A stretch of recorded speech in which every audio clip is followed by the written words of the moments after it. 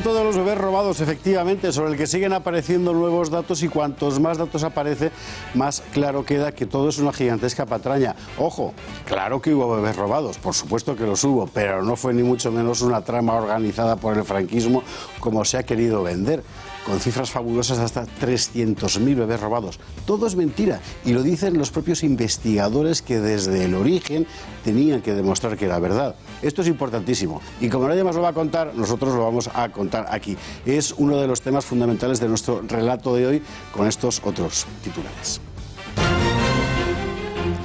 Habló Pedro, habló Pedro y dejó claro que no quiere a Pablo. No lo quiere en el Consejo de Ministros. No lo ha podido decir más claro porque es malo para Europa, para la economía, para eh, Cataluña. Sin embargo, sigue diciendo que Podemos es su socio prioritario. Áteme ustedes a mosca por el rabo. Podemos ha tratado de atar la mosca proponiendo una consulta entre sus bases, es decir, los inscritos y las inscritas, por utilizar el, lenguaje de, de, ellos mismos con dos preguntas que todos conocíamos. Uno, ¿queréis que nos arrastremos ante, ante Pedro Sánchez? Dos, ¿queréis que le pongamos condiciones para estar en el gobierno con él?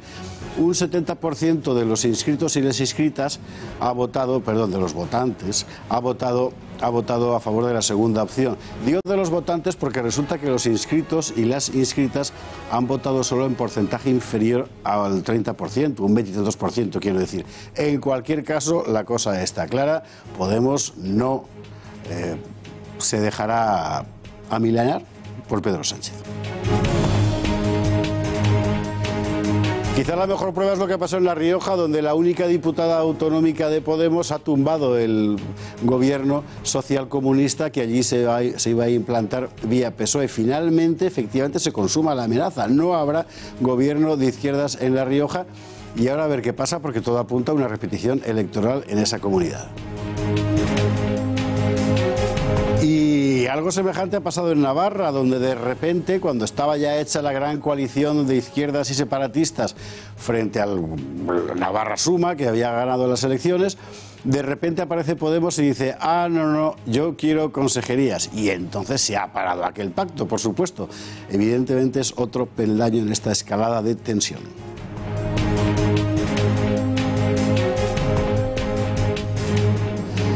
Mientras tanto, un grupo de intelectuales, generalmente de izquierdas, han firmado un, no sé llamarlo carta o manifiesto, en la que piden a Sánchez que no pacte con los separatistas. Es gente muy interesante la que firma ahí, eh, alertan también contra los populismos. Yo no sé muy bien exactamente esta última parte que es exactamente lo que quieren decir, pero bueno, tendremos esta noche en principio aquí a Elvira Rocabarea, digo en principio porque está fuera, va a ser por teléfono, esperemos que no falle nada, para darnos detallada cuenta de lo que ahí han firmado.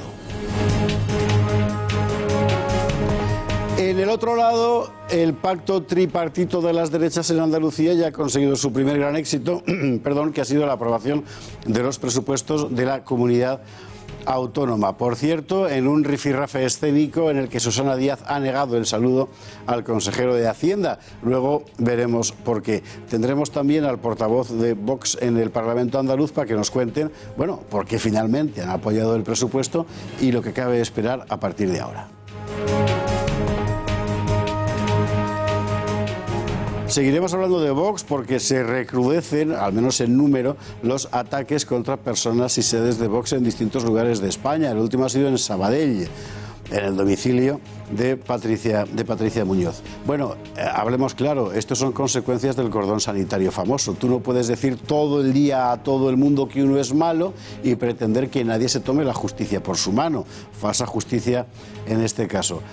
Hablaremos con Patricia Muñoz y por supuesto daremos la voz de alarma porque esto, esto no puede pasar. Esto no puede pasar porque, entre otras cosas, sabemos que pasó ya y sabemos lo que pasó. En fin, y no es lo mismo, por supuesto que no es lo mismo, pero conviene recordarlo. Lo sabemos porque lo hemos venido contando desde el mes de febrero. Como en febrero del 36 hubo unas elecciones fraudulentas, hoy está documentalmente demostrado, que terminaron conduciendo a una guerra civil y los que han estado escribiendo día a día todo lo que ocurrió están hoy sentados en esta mesa. Doña Cristina Barreiro, muy buenas noches. Hola Javier, buenas noches. Don José Luis Orella, muy buenas noches. Muy buenas. Y don Luis Togores, muy buenas noches. Muy buenas noches. Primero y ante todo, enhorabuena por el, por el trabajo. Es decir, habéis conseguido incluso que Eduardo García Serrano parezca moderado contando las informaciones, las informaciones del día y todo lo que iba, lo que iba ocurriendo. Yo creo que es una cosa inédita. No conozco en ningún otro lugar donde se haya contado un episodio histórico día a día a lo largo de 150 días. Que es que son muchos días. Un amigo mío, Navarro Gisbert, escribió un día un libro sobre la, eh, la proclamación de la República sobre la base de los eh, periódicos de la época y constató que leyendo la prensa de la época nadie habría sido capaz de decir que dos días después ibas a tener una república proclamada. En este caso no es tan, ¿cómo decir?, evidente, ¿no? Es decir, el ambiente se venía caldeando mucho por todas partes y se contaba cuando se dejaba contar. Fíjate, el, claro, los tres nos dedicamos a estudiar eh, ese periodo de la historia pero la verdad es que nunca habíamos leído día a día 57 días de periódicos, porque al final siempre vas buscando los hechos, pues, el asesinato de Calvo Sotelo, eh, la proclamación... Además los periódicos, digamos que no te dan el hecho documentado, el, historiador tiene que documentarlo después y eso en los periódicos no sale, claro. Claro, pero cuando los lees día a día, además varios periódicos, porque Cristina Cora te contará, ella, ella hizo su tesis doctoral precisamente sobre la prensa de la Segunda República, que fue la que nos ha instruido sobre qué periódicos tenemos que leer, te da una visión de que pasaban muchas más cosas y cosas más importantes, por lo menos en el día a día, que luego la síntesis que hemos hecho los historiadores. Y la verdad, a mí me, ha sido extraordinariamente curioso, no solamente por España, sino porque también leías cosas pues como que detenían al, al asesino del hijo de Limber y cosas por el estilo. Claro, lo que eran las noticias, efectivamente. Cristina Barreiro, una cosa muy llamativa de la prensa de la Segunda República y que cualquiera que haya frecuentado las hemerotecas lo ve, es la cantidad de censura que había. Es increíble. Bueno, pero, encuentras páginas enteras en blanco o en negro. Páginas en blanco, con el visado por la censura. Eso es algo que se ve desde 1931, el régimen de la Segunda República. Eh, la libertad de prensa está solo recogida en la Constitución, porque después no tiene ningún tipo de aplicación práctica. A partir de febrero de 1936, y yo creo que lo hemos visto todos y lo habrán visto eh, los televidentes también en el programa, eh, las informaciones están fuertemente cercenadas, censuradas. A veces solo tenemos tenemos los titulares para hacernos una idea, bueno, pues día a día de esa eh, tensión, de esa espiral de tensión que se fue viviendo hasta julio de 1936. Incluso hay periódicos incendiados que no volvían a aparecer nunca más. Es el caso, por ejemplo, de La Nación. Nosotros hemos trabajado eh, la ABC, hemos trabajado también La Vanguardia, hemos trabajado La Hoja del Lunes, que están eh, digitalizados, pero bueno, también hemos visto ahora, también hemos visto el, diario Ahora, que era el periódico, bueno, pues era un, diario gráfico eh, que era mucho más atractivo, a lo mejor visualmente que otros de los periódicos de ese momento y que sí nos ha servido para ver, pues como decía Luis, no solo la información política, bueno, los problemas que tenía el Partido Socialista, las intervenciones de hazaña en la política, la violencia callejera, sino también bueno, pues cosas mucho más mundanas, como podían ser las películas que estaban de moda en ese momento, lo, quiénes eran las actrices, las estrellas de 1936. La música, que, siempre, bueno, hemos tratado siempre de buscar esos eh, anuncios publicitarios y esas melodías que ilustrasen mejor el ambiente de la época. La República, la Segunda República, tenía una constitución y además una ley de garantías constitucionales que en realidad consistía en suprimir la Constitución. Sí, la ley de ¿Y estuvo más tiempo vigente la ley de defensa de la República que la Constitución propiamente dicha? Eh, son tres cosas diferentes, la Constitución, la ley de defensa de la República y la ley de orden público. Si tenemos en cuenta que durante dos tercios de la Segunda República siempre estamos en un estado de prevención o en estado de alarma, o ya al final, en este momento, en estado de guerra, bueno, pues eh, los mecanismos eh, de censura se aplicaban con, normalidad. Eran los gobernadores o el gobierno central, bueno, pues quienes eh, se encargaban de dictar esas órdenes que permitiesen cercenar la información. Solo las Cortes servían a los diputados entonces para, bueno, pues, eh, pues leer. Eso lo hizo, por ejemplo, eh, Gil Robles, las cartas, las informaciones que desde diferentes pueblos y provincias le iban llegando con, bueno, pues lo que estaba sucediendo en la ese famosa primavera trágica, efectivamente. José Luis Orella. ¿Y en qué medida los periódicos no son, digamos, el reflejo de lo que está pasando, sino también el motor de lo que está pasando. Porque es la prensa de la época y es verdad que, bueno, habéis visto periódicos, digamos, muy serios que trataban de ser neutrales, pero lees cosas como Claridad o Ahora, por ejemplo, y realmente estaban echándole ya al fuego. Desde luego, muchos de los medios de comunicación son reflejo y son motores precisamente de todo ese proceso de radicalidad. Los periódicos no son homogéneos, tienen diferentes perfiles y los que son, por ejemplo, de ámbito más local, pues como podía ser el Diario de Navarra o, el Correo Español y el, Pueblo Vasco, etcétera, eh, resulta que te tratan, desde luego, y también se hacen eco un poco de ese proceso de radicalidad, de asesinatos selectivos que se van a ir produciendo un poco en esos últimos años. Por supuesto, los que son órganos de partido, desde luego tienen esa doble función. Son reflejo de lo que están sucediendo, pero también a través de los comunicados, los artículos de opinión de, la, de los dirigentes de los partidos, ayudan a caldear, como son en muchos de los casos los que son portavoces de los movimientos revolucionarios.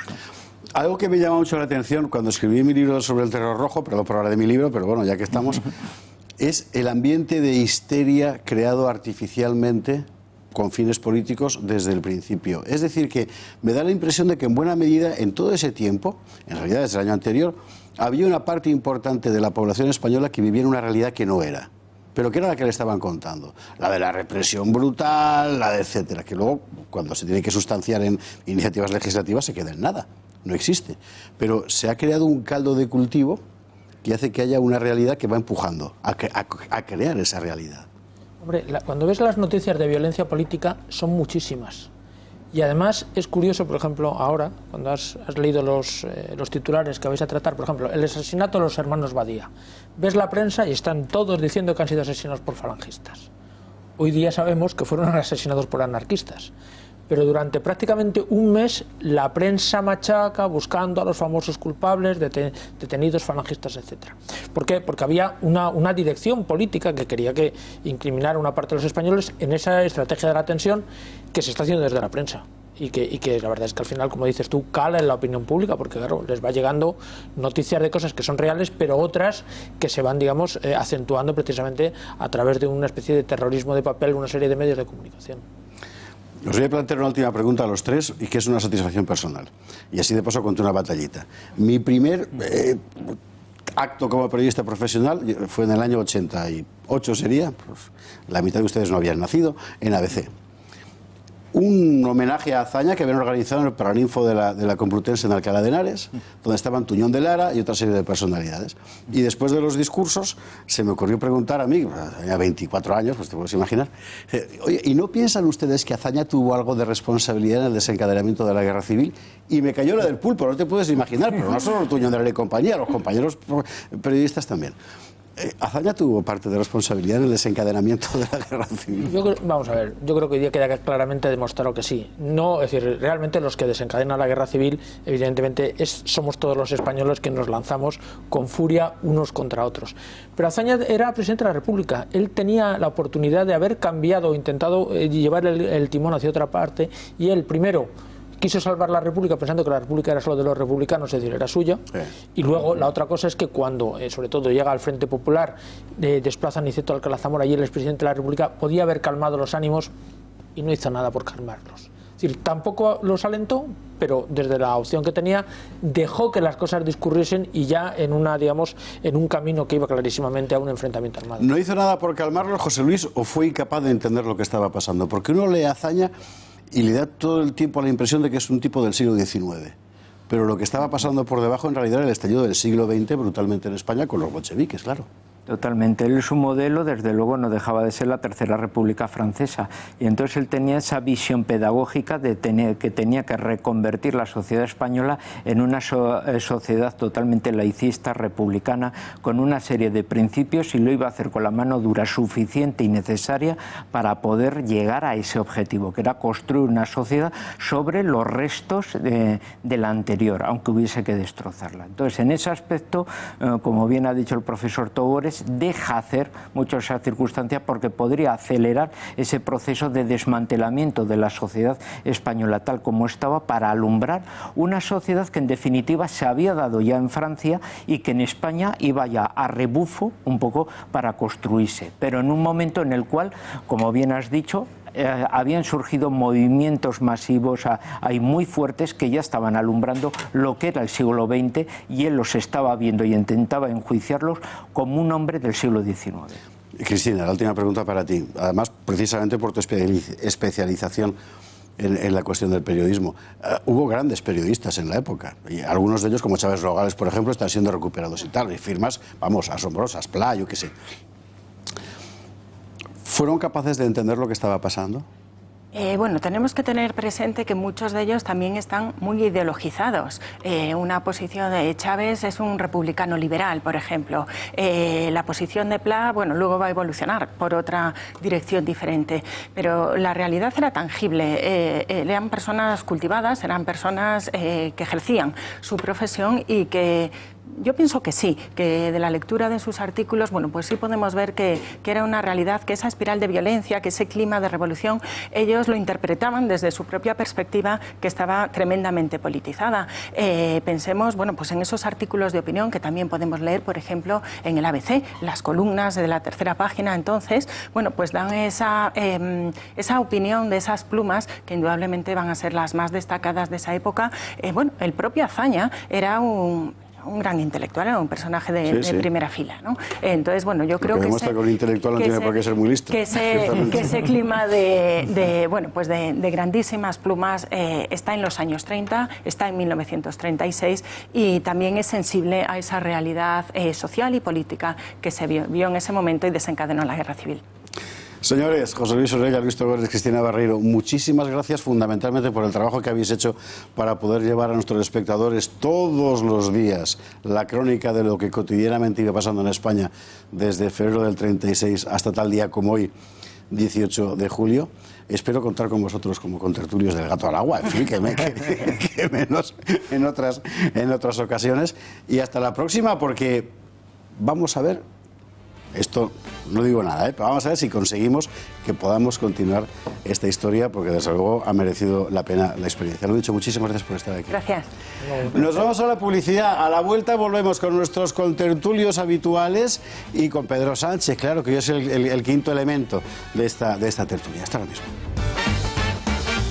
¿Tenía usted bonos o acciones de Abengoa? ¿Le han hecho creer que ha perdido su inversión, que ha perdido todo su dinero?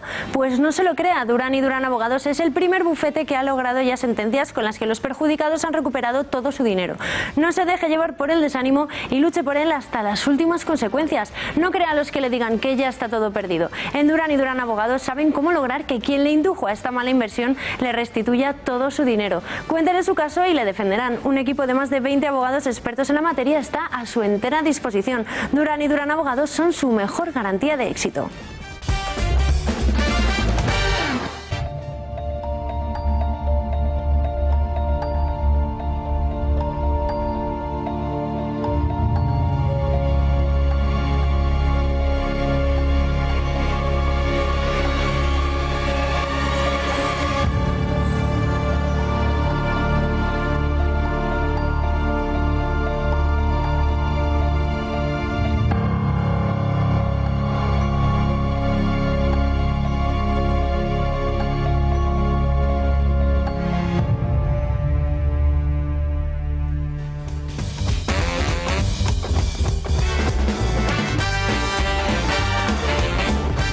Gracias a todos los espectadores que cotidianamente escriben, no es todos los días, pero casi, pidiendo una suscripción para hacer- darme un pinganillo nuevo. No es problema del pinganillo, soy yo que me muevo demasiado. ¿Qué le vamos a hacer? Bueno, el gato, empezamos. Política, política, política, porque es lo que hay con nuestros contertulios de esta noche. Don Luca Constantini, muy buenas noches. Buenas noches. Tu titular de hoy.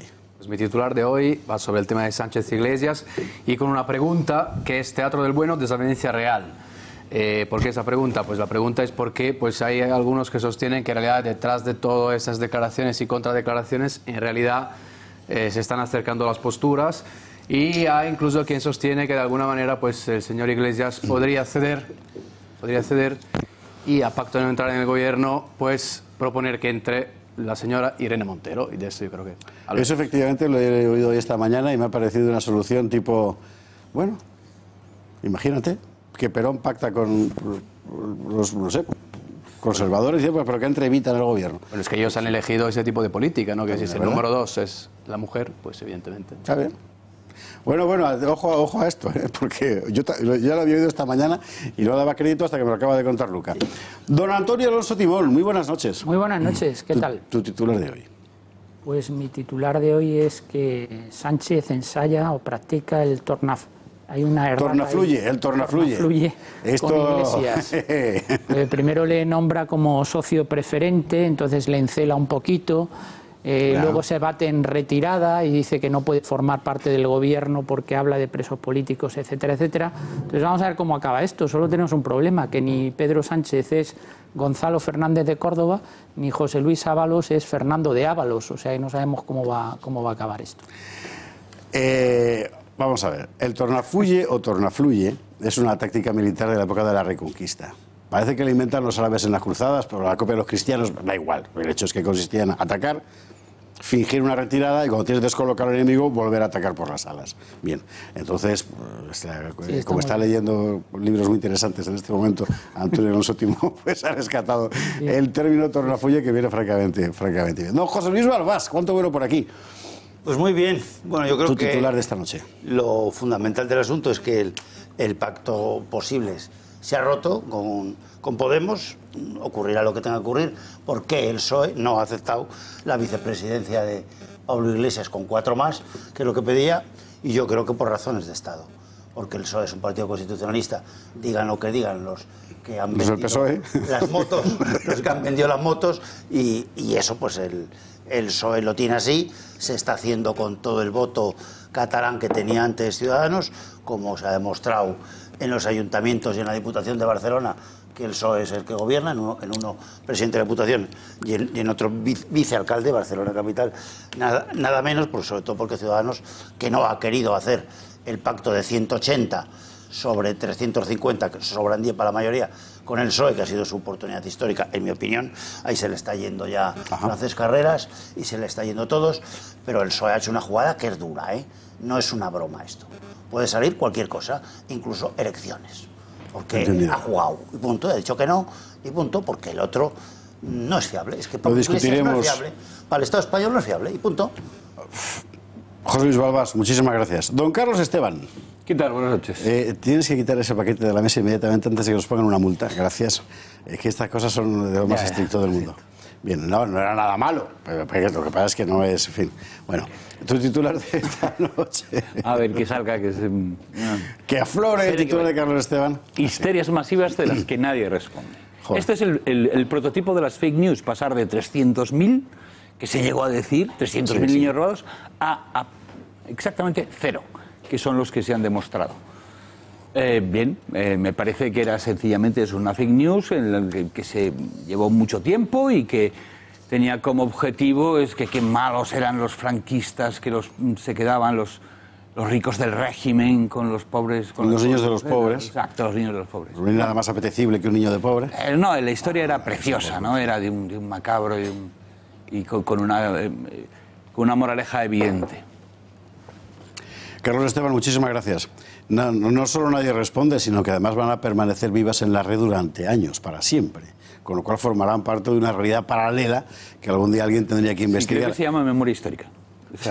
Paralela. Lo investigará Emilia Landaluce, seguro. Muy buenas noches, Emilia, ¿qué tal? Tu titular de hoy. Yo es que no, yo como ya esto hay que tomarse un poco a broma. Oye, por fin, a propósito de de, de los bebés robados, se certifica que ninguno de los seis hijos que tuvo Carmen Franco era robado.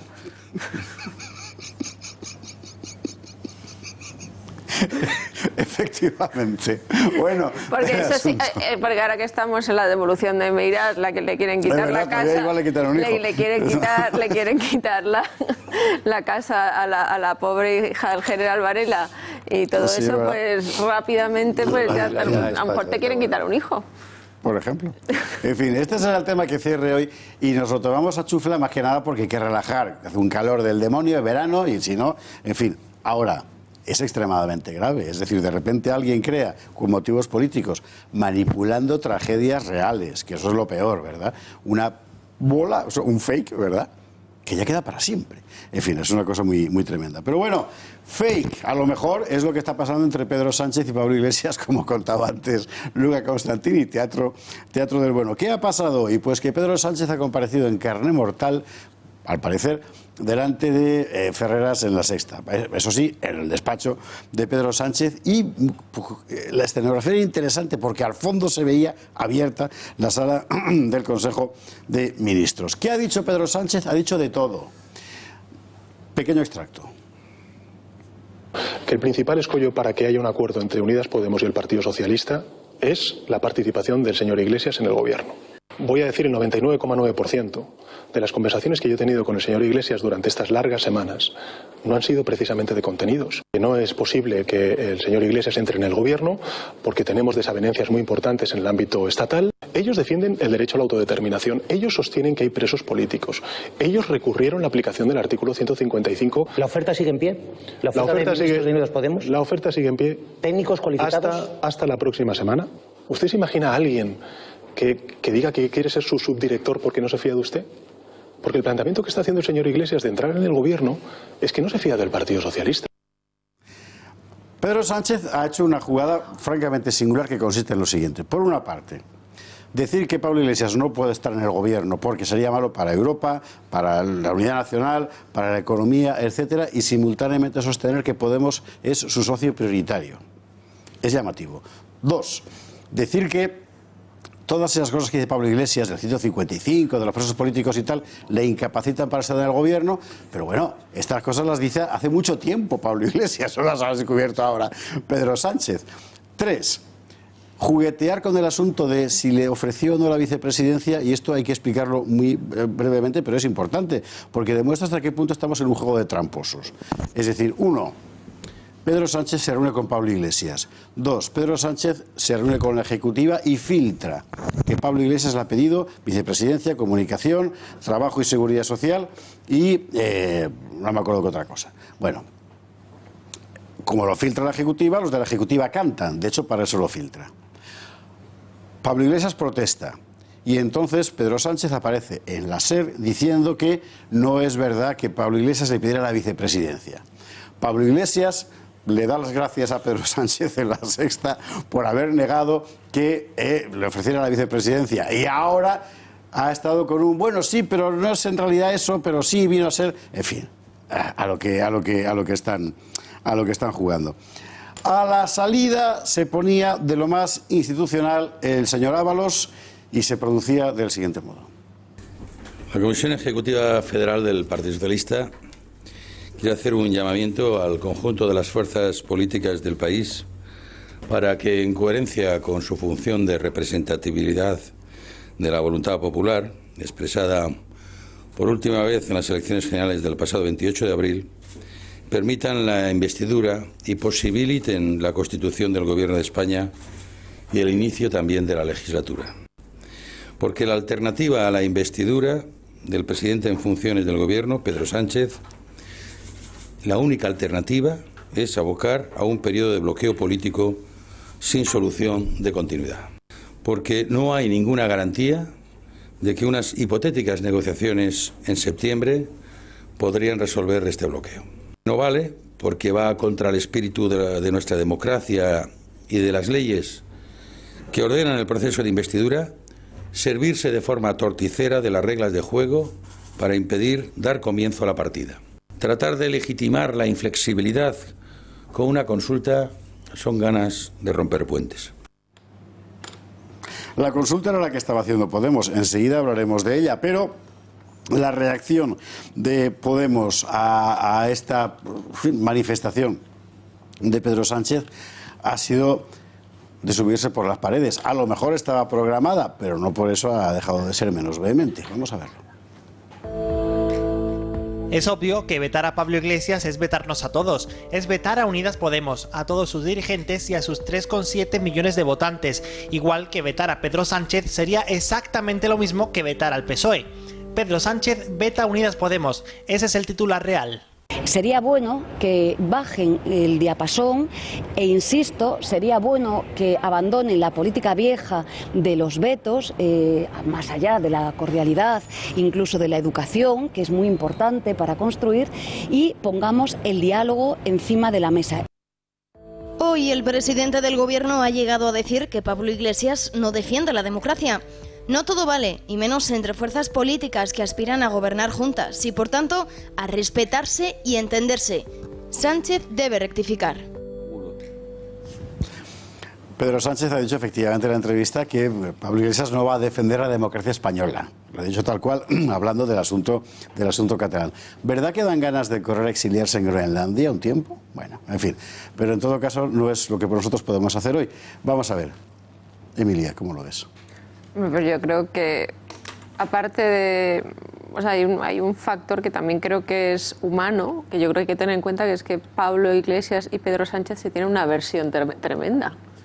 Que a, veces, que a veces ese tipo de cosas, se- se- se- igual que se, la tiene, que se la tiene Albert Rivera. Entonces, ese es un factor humano que, en primer lugar, dificultan las cosas. Yo creo que vamos a elecciones. Y, y- y yo creo que y, y yo creo que ni siquiera Pedro Sánchez se va a presentar a la, en la- a la segunda a la segunda investidura. Vamos a elecciones, va a, dejar que se presente Rejón con su esto y ahí va a tener ministros de Podemos homologables al gusto del PSOE. Pero déjame que apunte, porque tenemos aquí a Orcajo y a Joserra que dicen que hay gobierno. Emilia que dice que hay elecciones y con esto luego vamos a apostarnos una paella o algo. Carlos Esteban, Luca Constantini, en fin, tenéis todos la palabra pedida. Yo, yo lo que creo, o sea, yo creo que es una jugada, una jugada fantástica, porque creo que Pedro, por una vez, está viendo la estrategia general. Y la estrategia general es, eh, Podemos es un submarino que nos metió, en parte, el PP para dividir el voto de la izquierda y, y hay que destruirlo. Es lo normal, es lo que se le ocurre al caso la manteca. Es decir, este es- me, está, me está haciendo la sombra y quiero quedarme con sus votos. Bien, perfecto. Y está haciendo un juego maravilloso, lo está haciendo estupendamente. Eh, con sus votos, entre, otros, consiguió eh, echar a Rajoy. No le dio ni un cargo de Ujier, en ese maravilloso gobierno de las, de las estrellas.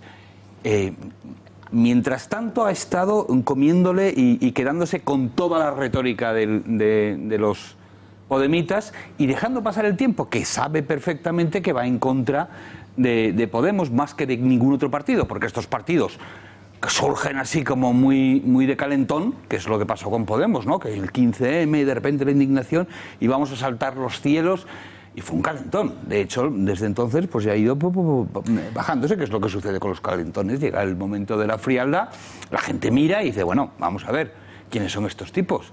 Está lo del chalet, eh, no hay más que comparar simplemente eh, con una báscula lo que ha cambiado Pablo de, de cuando empezó ahora. Es decir, esas cosas en su votante influyen, otros no. En, en un tipo del PP, que, eh, en el PP que un tipo se hubiera comprado un chalet, es que no hubiera afectado absolutamente nada el voto. Ahora al votante de, de Podemos eso le ha sentado como una patada en la boca.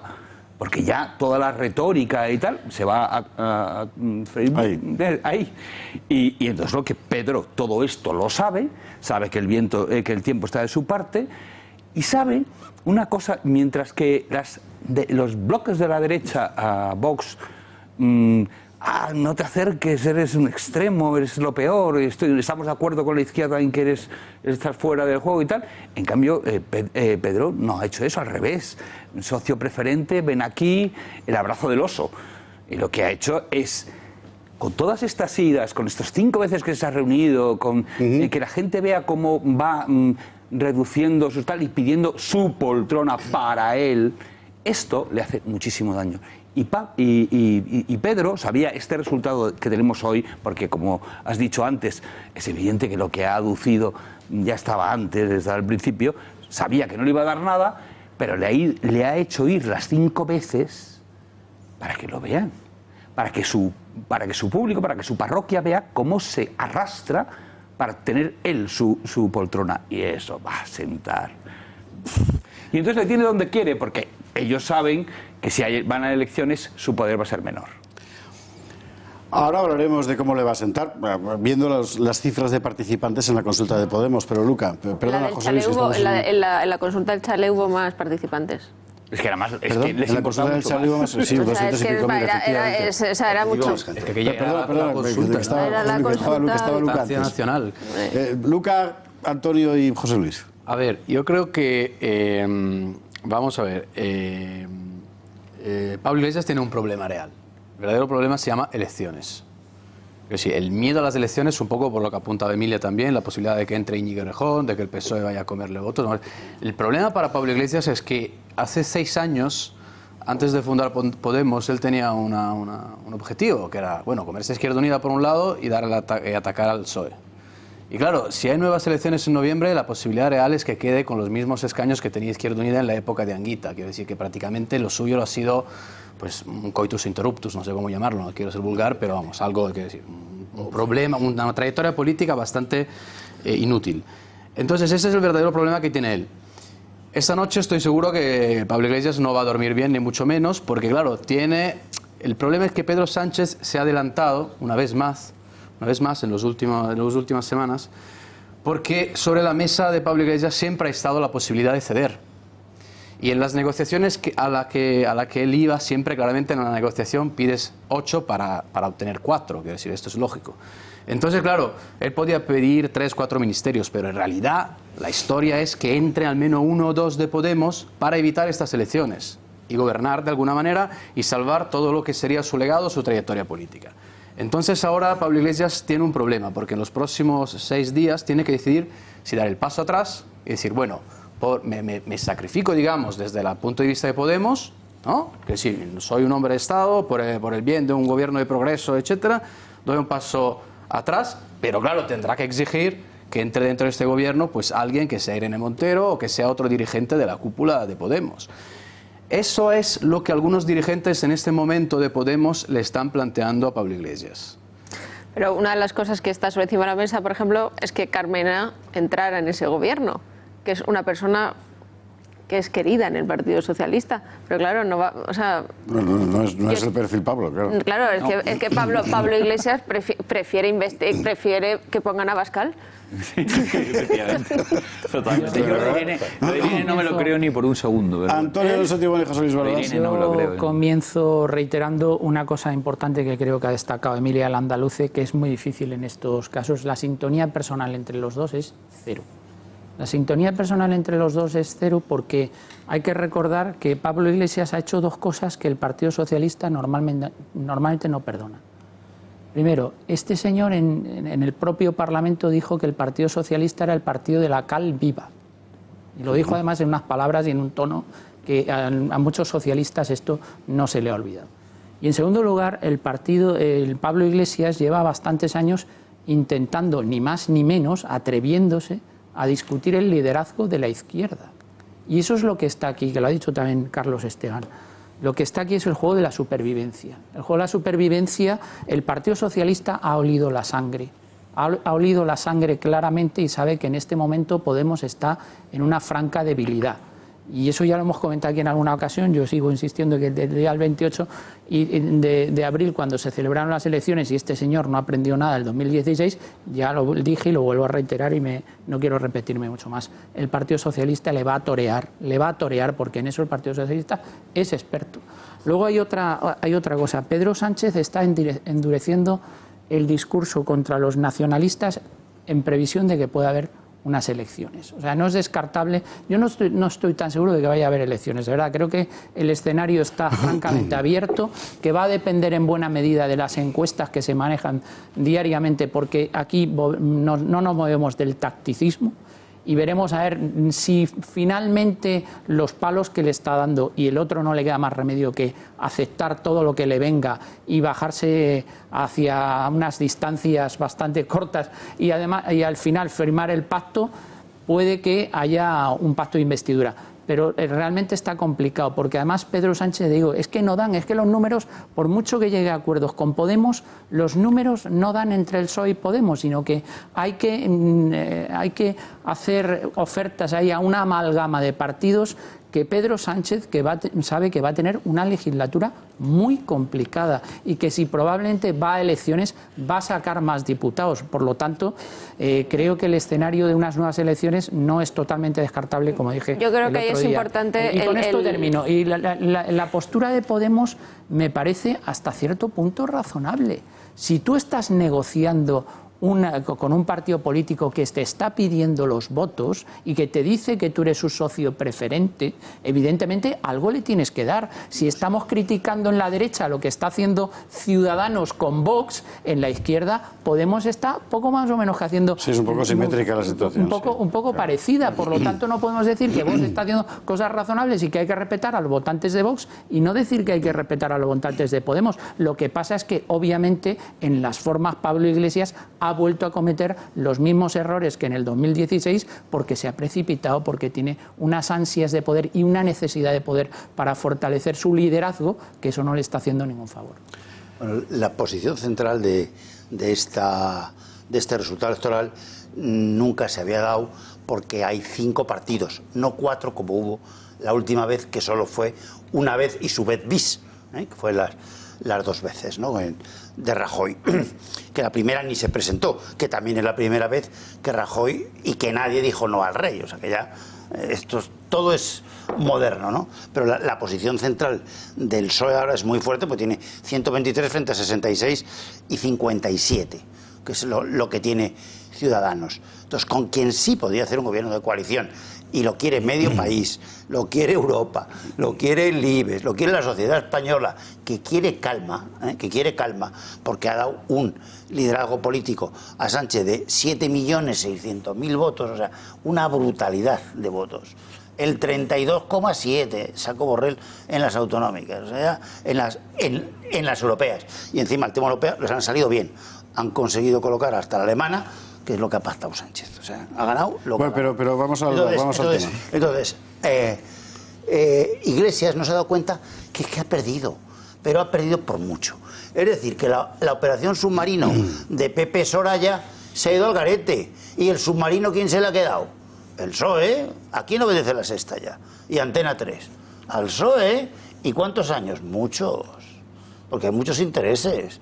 Muchos, ¿sabes? Entonces ya no tiene ni el submarino. O sea, fíjate cómo le trata Ferreras a, a, mm, a Pablo Iglesias, ya ni Pablito lo llama, cualquier cosa, ¿sabes?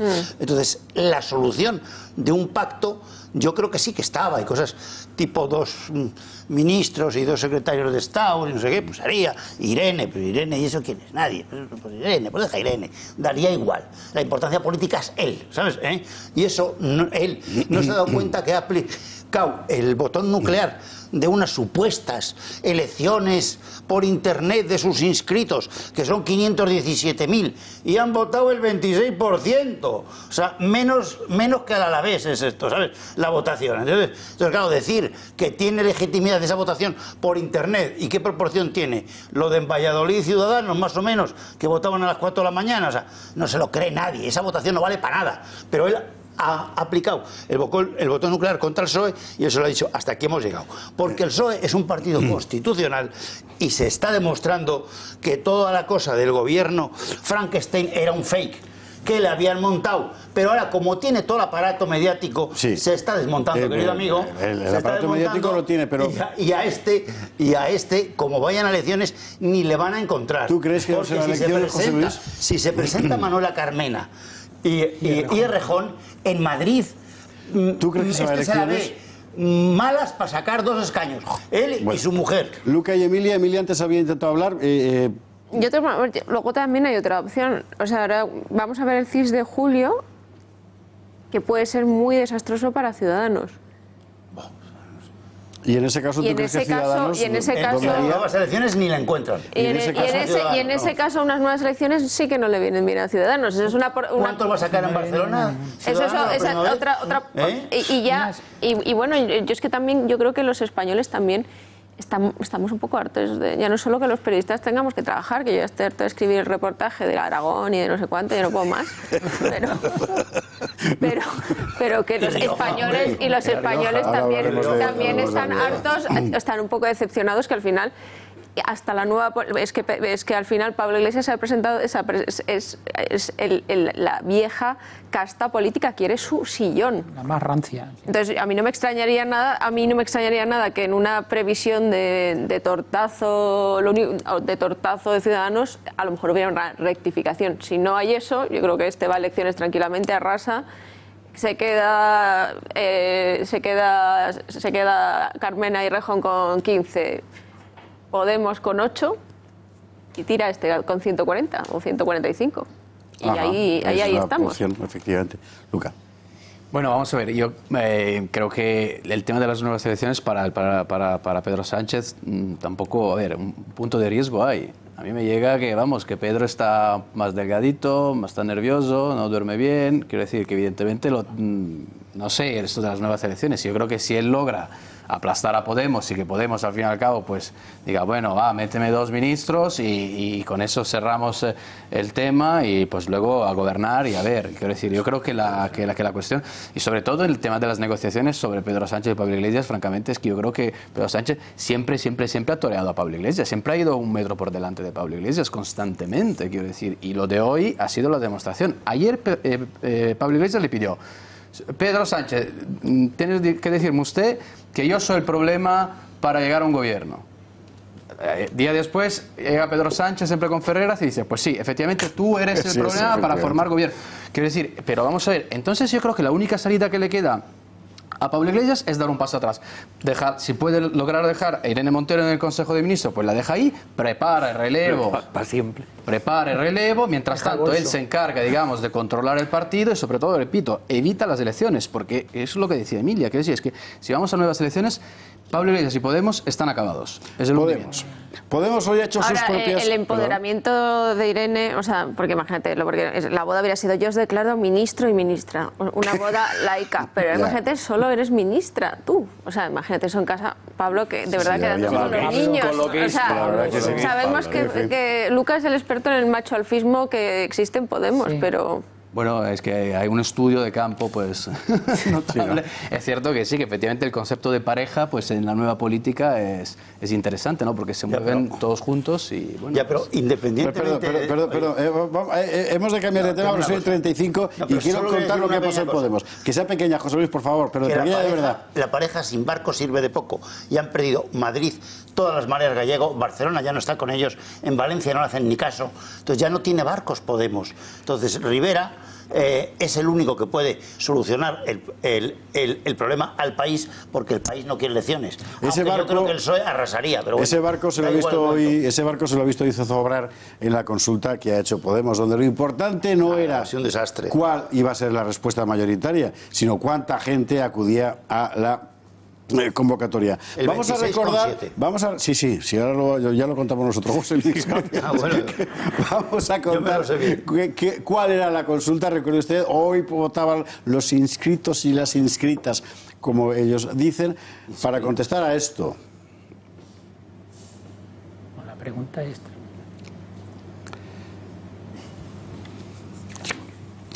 El 70% de las personas inscritas que han participado en la consulta han decidido la opción de un gobierno de coalición integral, programa y equipos sin vetos. Enhorabuena por la gran participación. Esto es lo que contaba Podemos en su tal. Es decir, eh, recuerde usted, las dos opciones eran opción A, ¿Queréis que nos arrastremos ante, ante Pedro Sánchez? Opción B, ¿queréis que impongamos a Sánchez nuestras condiciones? La gente ha votado mayoritariamente la segunda opción. Ahora, lo importante es ese mayoritariamente en qué consiste. Porque sobre un total de inscritos de 519.735, de inscritos e inscritas, han votado eso que está usted viendo ahí. 138.488 personas, un 27% raspado, de los cuales los que han votado, ese es el 70%, que han votado a favor de la opción Pablerín, para entendernos, han sido 96.942 personas, es decir, solo un 19% del total de inscritos e inscritas. ¿Esto qué quiere decir? Pues esto quiere decir guste o no, que la gran participación de la que habla Podemos en materia de inscritos e inscritas ha sido realmente patética. Patética. Sí, la palabra es patética, efectivamente. Sí, o sea, la gente le ha dado la espalda. Sí, que participaron Es que se en que era la gran sobre- cuestión. sobre la casa Participaron, de como señalaba antes. Emilio Andaluz, Hombre, pero es que era efectivamente. mucho más importante. Y hacemos- Sí, eso también es verdad. Y aceptamos pulpo como glamour. animal de compañía de que realmente han votado 138.488. Eso no se lo cree nadie. No lo sé. Bueno, no lo sé, yo no tengo por qué dudarlo, No, en yo fin. tampoco, pero vamos. Pues quiere no decir que puestos a mentir habrían mentido más, habrían hecho una cosa más búlgara, ¿no? Podría ser, bueno, pero Claro. vamos, es tampoco. A mí me preocupa Balbás, que ya ha repetido dos veces hoy que el Partido Socialista es un partido constitucional sin Balbás- nadie Balbás está- haya dicho Balbás- nada. No sé cuántas veces lo va a decir De los que quedan, No, Balbás- creo que Más es lo digas, el único que firmó más- la Constitución. más me va- de los que quedan, es el único que firmó la Constitución. Balbás Ah, lleva tres meses repitiéndolo no. incesantemente. O sea, estuvo. Pero, pero, Un día como hoy y algún día Pero- conseguirá que en el PSOE se lo crean, que es de lo que se trata fundamentalmente. Me da la impresión, José Luis. sido el único Así que yo te animo a Hombre, decirlo. pero, pero es que, pero es que yo creo que Del 78, pero es que yo creo que Sánchez está en una clave esa está en una clave electoral que sabe que tiene que estar duro con los nacionalistas por si acaso va a las elecciones No, no, y, y donde ha sacado mejor resultado el PSOE, el PSOE aparte de Andalucía ha sido en Extremadura y en Castilla-La Mancha donde hay líderes donde en Castilla-La Mancha y, y- y en Extremadura donde no hay precisamente líderes que sean tibios con el nacionalismo Y en Yo- Madrid, y en Barcelona, y, en Valencia, eh, cuidado. eh. Claro, que han entonces, ganado las tres. que han ganado los- Madrid, Barcelona y Valencia son, no son, y, son, y, son, y son duros. o sea, lo, que, lo- ¿Cuándo sale? lo que yo creo es que yo creo que Pedro Sánchez no es una persona, ya lo he repetido mil veces, pero no es una persona excesivamente ideologizada. Él sí tiene que aplicar el 155. Ah, yo estoy convencido. Vamos, meterá, Pedro Sánchez meterá, Pedro met- Sánchez y no bueno, por eso. No o sea, tiene ideología. En fin. Es un socialdemócrata europeo, sin más. Es un socialdemócrata europeo. Sin más. Y lo fue siempre, ¿eh? Desde los 20 años que le a conozco de yo. hoy que es un Pero socialdemócrata es que ha sido europeo. todo realmente, quiero decir. eso. Ha sido bandera, Martuqui bandera- Amor de madre, amor de madre. Martuqui decía que se metió por- porque le dijeron que en el PP ya tenían bastantes pijos, con lo cual... Su distrito era Tetuán, la zona de Orense. Es un chico de ahí, de toda la vida. Bueno, Sin la más. cuestión es la siguiente. Eh, podemos bromear todo lo que queramos con la cuestión de Podemos. ¿eh? El hecho es que hoy en La Rioja y al parecer en Navarra y muy probablemente pasado mañana en Aragón, la hostilidad de Podemos hacia el PSOE, que hoy ha estimulado deliberadamente Pedro Sánchez, va a llevar a que no haya gobiernos de izquierdas allí. Y ojo, porque el asunto se puede poner francamente eh, para lo que es el aparato del partido, porque recordemos que las comunidades autónomas son la fuente fundamental de financiación de la clientela, ¿verdad? Pues puede ser francamente, en fin, áspero. ¿Qué ha pasado en La Rioja al final? Lo vamos a ver de inmediato después de la publicidad. Lo de Rioja, lo de Navarra y otras cosas más.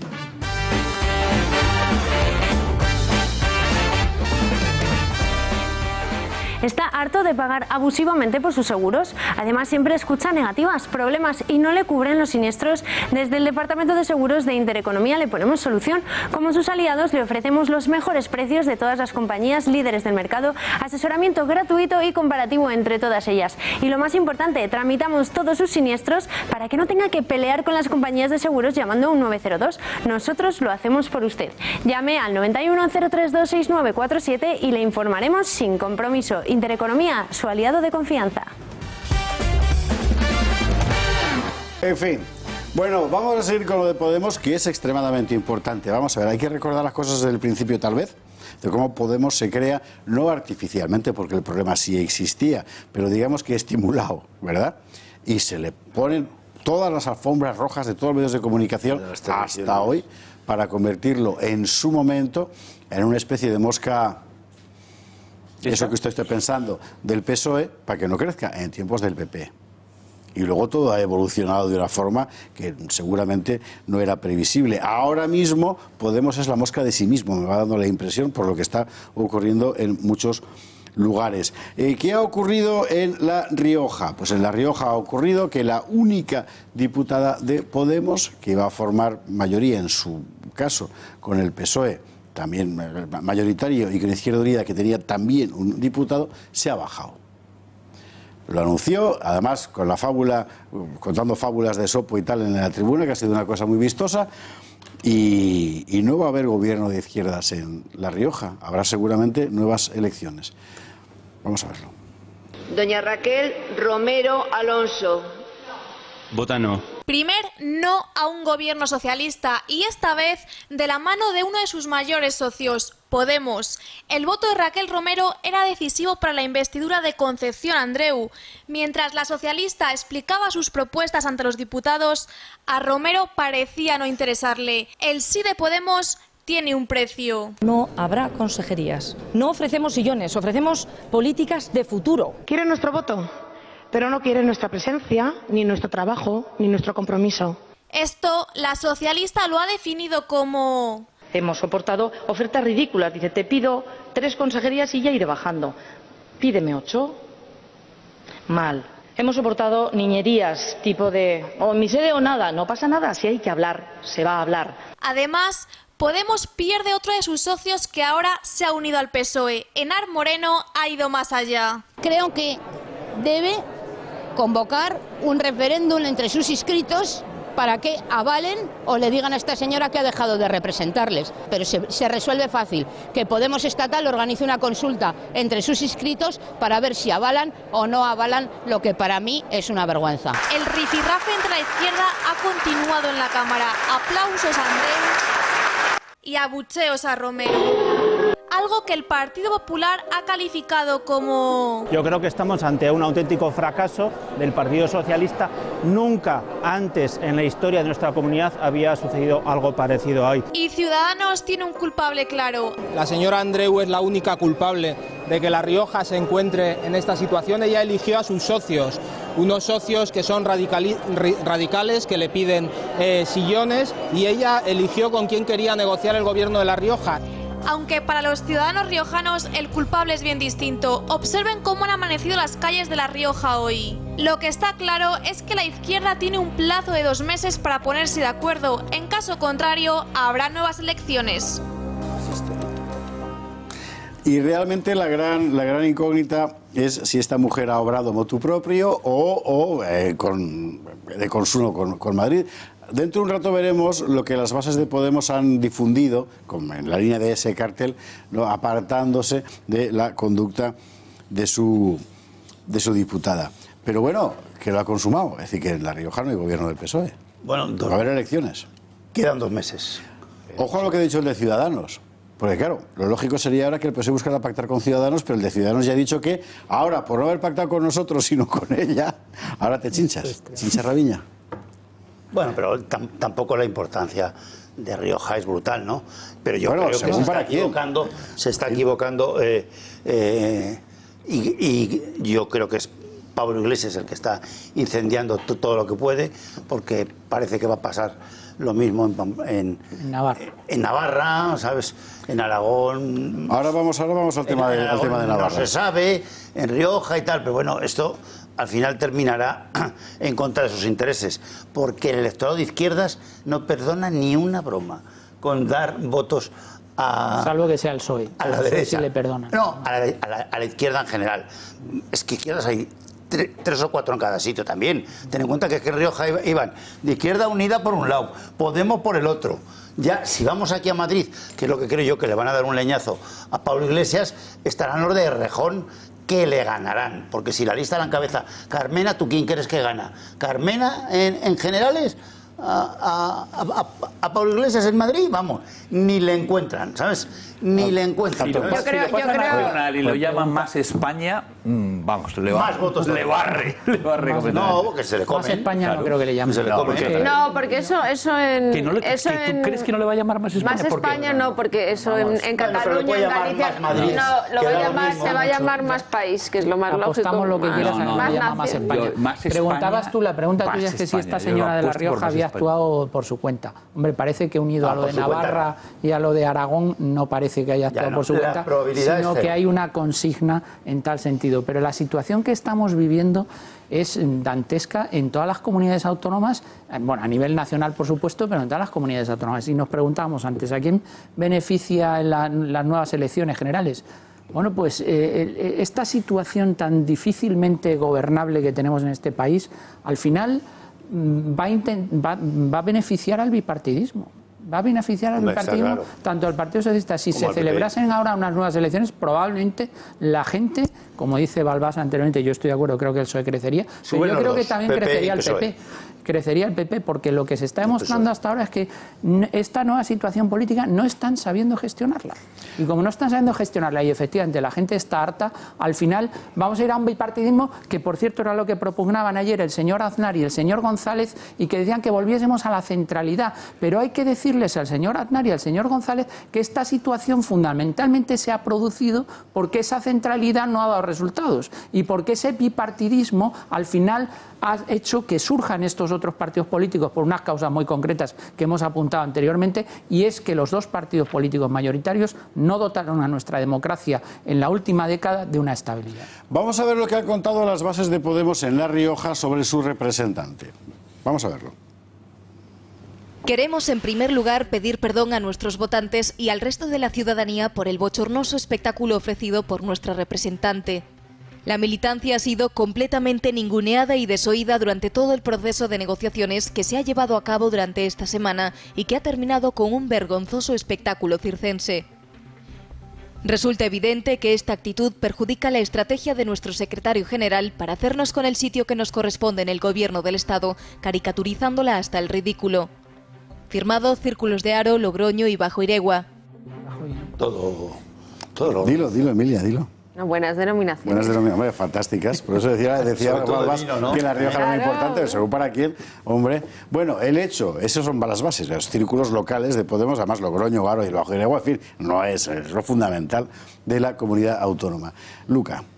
Bueno, simplemente apuntar que la situación de Podemos en La Rioja es muy complicada, hay una pelea interna, la persona que ha llegado ahí, digamos que fue la Dirección Nacional que la puso sin primarias para, pues en fin, para evitar que, que hubiese más incendios, evidentemente no ha servido de mucho porque muy bombero, muy bombera por lo visto no es. Izquierda Unida se ha roto con Podemos, quiere decir, es que en realidad lo que estamos mm, observando y creo que es un fenómeno de implosión general del fenómeno Podemos, por un lado, y por el otro, pues me reanudo lo que estábamos comentando, la idea de que pues, el bipartidismo pueda volver en España. Yo en ese sentido, francamente, siempre he sido muy defensor del bipartidismo. Quiero decir, será que he vivido una fragmentación política impresionante y digo, a ver, un poco de, de bipartidismo pues no está mal. Si hay un gobierno que gobierna bien sólido, pues mm, ¿por qué Siendo no? italiano no está mal que defiendas el bipartidismo. Sí, porque si no... Hombre, claro, es que... Pero si el, si el bipartidismo es, es la, digamos que es el final eh, natural, es a lo que siempre se vuelve. pero Cuando hay varios, cuando hay multipartidismo, significa que se está fraguando un nuevo bipartidismo, Sí, nada más. sí, sí. Es decir, que Esta situación normalmente es así. Puede o sea, ser, es decir, sí, no lo sé, el- sí. el- ¿Cuál es el bipartidismo más típico que conocemos en el... No, más todavía, el, el británico. El británico. Bueno, sí, los, de- los de- de- libera- de- y eran los liberales Bueno, pues los conservadores. liberales Y conservadores. Y de repente los, laboristas quitan a los, a los tal, y sigue el bipartidismo, pero ahora son los Ya, laboristas. pero sí. Pero fíjate cómo está el Si Reino Unido también. ¿eh? Si el movimiento hacia el bipartidismo se produce, nada más que mires el mapa electoral de España, que yo creo que está producido ya, yo creo que eso está en marcha ya. Eso está en marcha. La subida del PSOE y del PP está en marcha. El que lo quiera ver, lo verá, y el que no, sentirá los votos en su cabeza. Y el que peor está posicionado para, de todo es Ciudadanos, porque está en el medio de los cinco, está en el medio y le van a dar Ya. los dos. Los dos. Y ese movimiento se ha iniciado. Y el listo de Rivera todavía no se ha enterado. En Navarra- No se ha enterado. en Yo de todas maneras... Porque, termino, A ver, sí, porque termino. Podemos, en ese bipartidismo, en mi opinión, ya casi está medio muerto. Lo único que falta es el entierro. Emilia. La A ver, yo, puntilla. yo de todas maneras, yo creo, si uno dice, si uno observa el CIS último, que yo sé que no creéis esto, es el 8 de cada 10%, de cada 10 votantes de Vox está contento con su elección y no va a cambiar.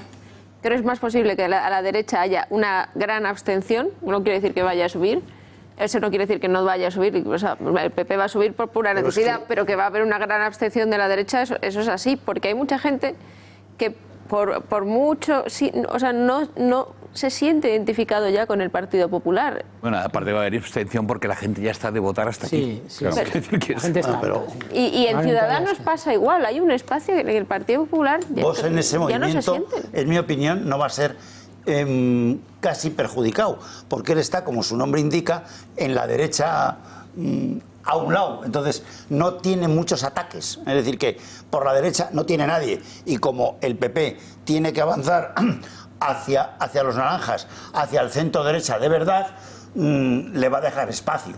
Es decir, que mm, tampoco Un Vox, con un fiel, 10%, pues va a ser gran problema Sabe- para sabe- la centralidad. Pero hombre, Sabe Dios. tiene un electorado fiel, pero además yo creo que, que vos Sí, pero debería un 10. intentar mm, crecer un poquito más, pero además la, la gente no va a cambiar de vos y está contento con vos. Hombre, no ha hecho nada todavía Vox como para que no esté, con- no esté contento la gente con él, porque todavía realmente Vox no se Pues ha roto, mucho. ha roto, ha roto, ha roto consensos mediáticos. A mí me parece eso importante. Eso es A mí, a mí fundamental. Eso ha sido también, a mí también. Sí, sí, pero, pero bueno, y, que- y yo eso- desde pero luego, eso es y yo desde bueno. luego si Las fuera cosas que ha hecho yo desde luego buenas, si no fuera son- Vox, Santi, págame. Y ahora- Eh, eh, a- a- o sea, yo lo quería ir a un volver yo a intentar a robarle el electorado a la izquierda haciendo una política franquista Ahora, económica, exacto. 60 días Sí, de despido, sí, sí, que vivienda barata, obrerista. obrerísima y a saco Bueno, es que a por esa el voto de gente. Vox es bastante transversal. en Ha ese tenido sentido, grandes aciertos Vox cosa. que Pero no que vender, Vox no ha hecho, no vender. nada Vamos a hablar de Vox dentro de un instante. Por favor, leos el guion antes de tomar la palabra. No, José Luis, leos el guion antes. pues ¿Por qué perfecto. me, el salté los temas como una paella?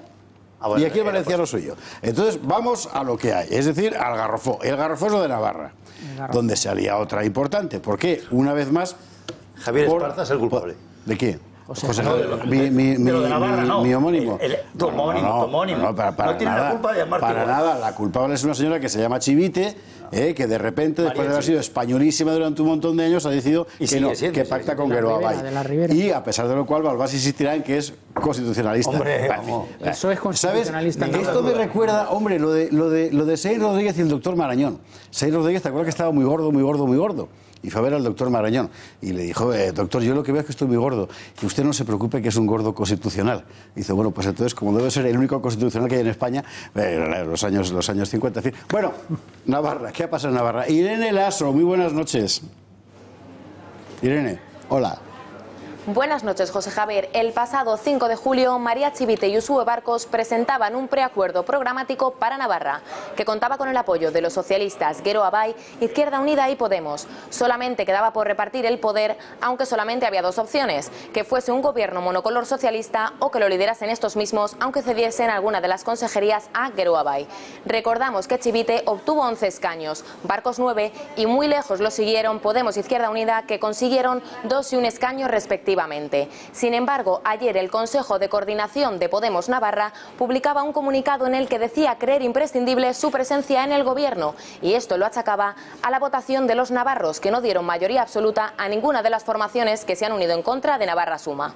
Sin embargo, aunque los socialistas convenciesen a Podemos y hiciesen que estos diesen su brazo a torcer, todavía tendrían que llamar a la puerta de Bildu, de los que deberían pedir al menos su abstención. Y hoy el Partido Independentista ha hecho acopio de su poder en una de las comisiones tumbando la propuesta del PSN y Queroa Bay, algo que no ha gustado nada a los socialistas y así lo ha criticado el secretario de organización Alzorriz.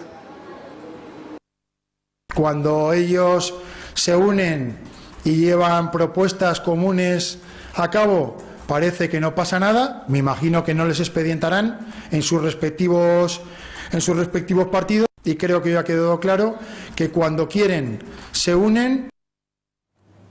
Muchísimas gracias, Irene, Irene, Irene Lasso. Bueno, pues ya salió ahí, además con una forma, bueno, de la forma más práctica. decir, ¿Quieres que apoye? Pues quiero una consejería. Si te metes en el Pero zarzal, ¿qué te puede pasar? Pero es legítimo, ¿eh? Pero, es legítimo. Pero vamos a ver, parte, lo decir, que ha hecho el PSOE en Navarra ahora ni siquiera se atrevió a hacerlo el PSOE de Zapatero. Porque en aquella época Pepiño Blanco dijo que no, que con Bildu no se podía pactar ni siquiera la abstención ni absolutamente nada. Y lo que ha hecho el PSOE ahora, si, claro, si tú escuchas a, a Ábalos y escuchas a Carmen Calvo y Carmen Calvo dice, no, es que el partido político que ha ganado las elecciones, que ha ganado por una amplia mayoría es el que tiene que gobernar. Y en, en Navarra, ¿qué es lo que ha pasado? Que ha ganado Navarra Suma por una gran Sí, eso sí diferencia y entonces no le estás dejando gobernar allí, pero sí que hay que dejar gobernar en, en- en Claro. el, en el- en el Estado a Pedro Sánchez. hay una Es cosa que en la lo que- y las declaraciones En lo que ha dicho este, este caballero Alzorriz que querría someter a vuestra consideración porque me está inquietando mucho. Estamos viendo en todo el, la retórica post, o mejor dicho, sí, postelectoral, eh, el maniqueísmo más asombroso que he visto en, todo- en- toda mi vida. Es decir, sostiene este señor Alzorriz, puesto que Bildu vota contra mí y Navarra Suma vota contra mí, Bildu y Navarra Suma son lo mismo y votan igual. Es lo que ha dicho, lo está diciendo permanentemente ¿Quién ha Carmen Calvo, Calvo? Con el asunto de van a votar con la extrema derecha, sí, con el PP y con Ciudadanos. Vamos a ver. Es- esto significa que a partir de ahora el mundo se ha dividido entre yo y el no yo. Sí, sí. Eh, pero es, Pero es el que final de la política racional, claro. Pero, no, no, la política nacional y la política, Racional. y la política internacional. Es que es- Racional, racional, No, decía. perdón, y la, Claro. la política internacional es así también, el yo Sí, sí. y los otros. Cada vez es más- No yo. Cada vez es más desnuda, cada vez es más claro que es a lo que estamos. Es decir, yo tengo tantas fichas, tú tienes tal, y luego ya me invento a lo que sea, pero te voy a llamar de todo. Pero te voy a, llamar, te voy a acusar de ser Hitler. De todas maneras, los últimos días de Carmen Bueno, Calvo han sido gloriosos. ¿eh? Pero el comienzo de esta, de, de esta lógica realmente, verdaderamente, es la de Pedro Sánchez con el no es no. Que Hombre, si tú, claro. Acabas de decir que es un socialdemócrata, pues díselo, ah, sí, pues el- díselo a los del SPD, si es un socialdemócrata, Sánchez, porque ¿no? si no me equivoco, en Alemania intentan acordar, ¿no? Cuando, cuando hace falta con el Partido Popular Alemán. Quiero decir, El PSOE es el único- que socialdemocracia es un poco atípica, ¿no? Bueno, el, el- el único partido que en España se ha, se ha abstenido eh, por razones de Estado El frente al otro ha sido el PSOE frente a Rajoy, 84 abstenciones. Bueno, tuvieron que echar, tuvieron que echar al secretario general, si no me equivoco, ¿no? sea, Para, y para- luego- y, oye, y pero- echarlo del Congreso para Sí, pero, poder hacer Javier, eso. estoy José Luis, por to- favor. Totalmente de acuerdo contigo, pero también yo te digo otra cosa de eso. Fue un golpe antidemocrático absolutamente gestionado por el clan andaluz que ha perdido de una vez, que era la vieja guardia del PSOE. Mangona, ¿vale? Y han perdido porque en el PSOE les conocía. solo quedan los Eso buenos, ha ah, sido es un golpe. Eso Vamos a ver, Que José Luis, José Luis, se deje de contar cuentos, como cuando echaron ¿A quién? a Borrell de candidato al Munia, Bien, fue bien. una Pero no me- mangada no mezclemos- no mezclemos temas, por favor, Pues vaya Absolutamente. Vamos a ver. Gestionado por la vieja José Luis. Barbás, si tú hubieras diseñado los Legos, nadie sería capaz de montarlos. Sobre de verdad. Vamos, So- sobre José Luis. Navarra. No, no, no. Vamos no, asunto. eh, sí, vamos a, a Navarra enseguida, pero antes aclárame esto. Aclárame esto, por favor. Es decir, Sí. el PSOE hace, pues, merece todos los créditos del mundo porque es el único partido que en la historia de la democracia española se abstiene para que alguien gobierne. Vale. Sí, pero simultáneamente estás diciendo que eso fue porque lo hicieron una gente malísima que eran los mangones de no sé qué. No, porque bueno, para que eso ocurriera tuvieron es que echar a Pedro Sánchez. Ha llegado a haber cinco grupos. A ver si te crees que eran cuatro, ¿entiendes? O sea, que esto era. Esto, ¿te Lo que te decía de los ¿no? legos, ¿Te eh, acuerdas? José Luis Balbás. Bueno, bueno, renovadores, viejas guardias. Yo creo que te metes con, con. Susana por ser mujer. Susana es clan andaluz. de- No. Luego hablaremos de- venga, de no hay- Susana, en fin. No hay, no hay más películas. Y con Chávez ha perdido y han perdido Andalucía. O sea, eso, está, eso, eso está clarísimo. bueno, vamos a ver. Navarra, Eh, Navarra, El ¿cómo problema va? de Navarra es más bien matemático. Porque tiene 50, eh, 50 parlamentarios. Y claro, UPN, con los incluidos los tres de, del Ciudadanos y los tres del PP, tiene 20. Entonces hay 30 que no son suyos. Entonces hacer un gobierno así es muy complicado. En el caso eh, Con de que 123 en el, también, ¿eh? el PSOE no necesita para nada. Pero, pero, Ah, José Luis, oye, por Dios, déjame- pero si es a el microcosmos del Congreso de los Diputados. El PSOE no necesita para nada, nada más que la abstención. Es decir, que no vote los siete de Bildu Estás con UPN, ¿te das Calvo. cuenta? Votando con los de Fraga, ¿sabes? O sea, que ya se... eh, con... Que, que sería lo de Sumata, pues es PP más UPN, que fíjate lo que era, ¿eh? ya ni, ni te lo cuento, y, y Ciudadanos. Pero eso es 20, frente a 23 que tiene con, con el, el PSOE, con el PNV y con Podemos, que ahora ya hay dudas sobre los de Podemos, que son cuatro, me parece que son, de los 23 esos Son dos, que son forman dos. mayoría. 23 frente a 20 son mayoría y 7 abstenciones. José Luis, ¿quieres no venderme, ¿quieres venderme que la aritmética legitima la homogeneidad de Geroa Bay, que es un partido nacionalista vasco, Pero y el Partido es Socialista PNV. Español? ¿Qué? ¿Qué? Pero lo que acabo de decirte. Pero es PNV.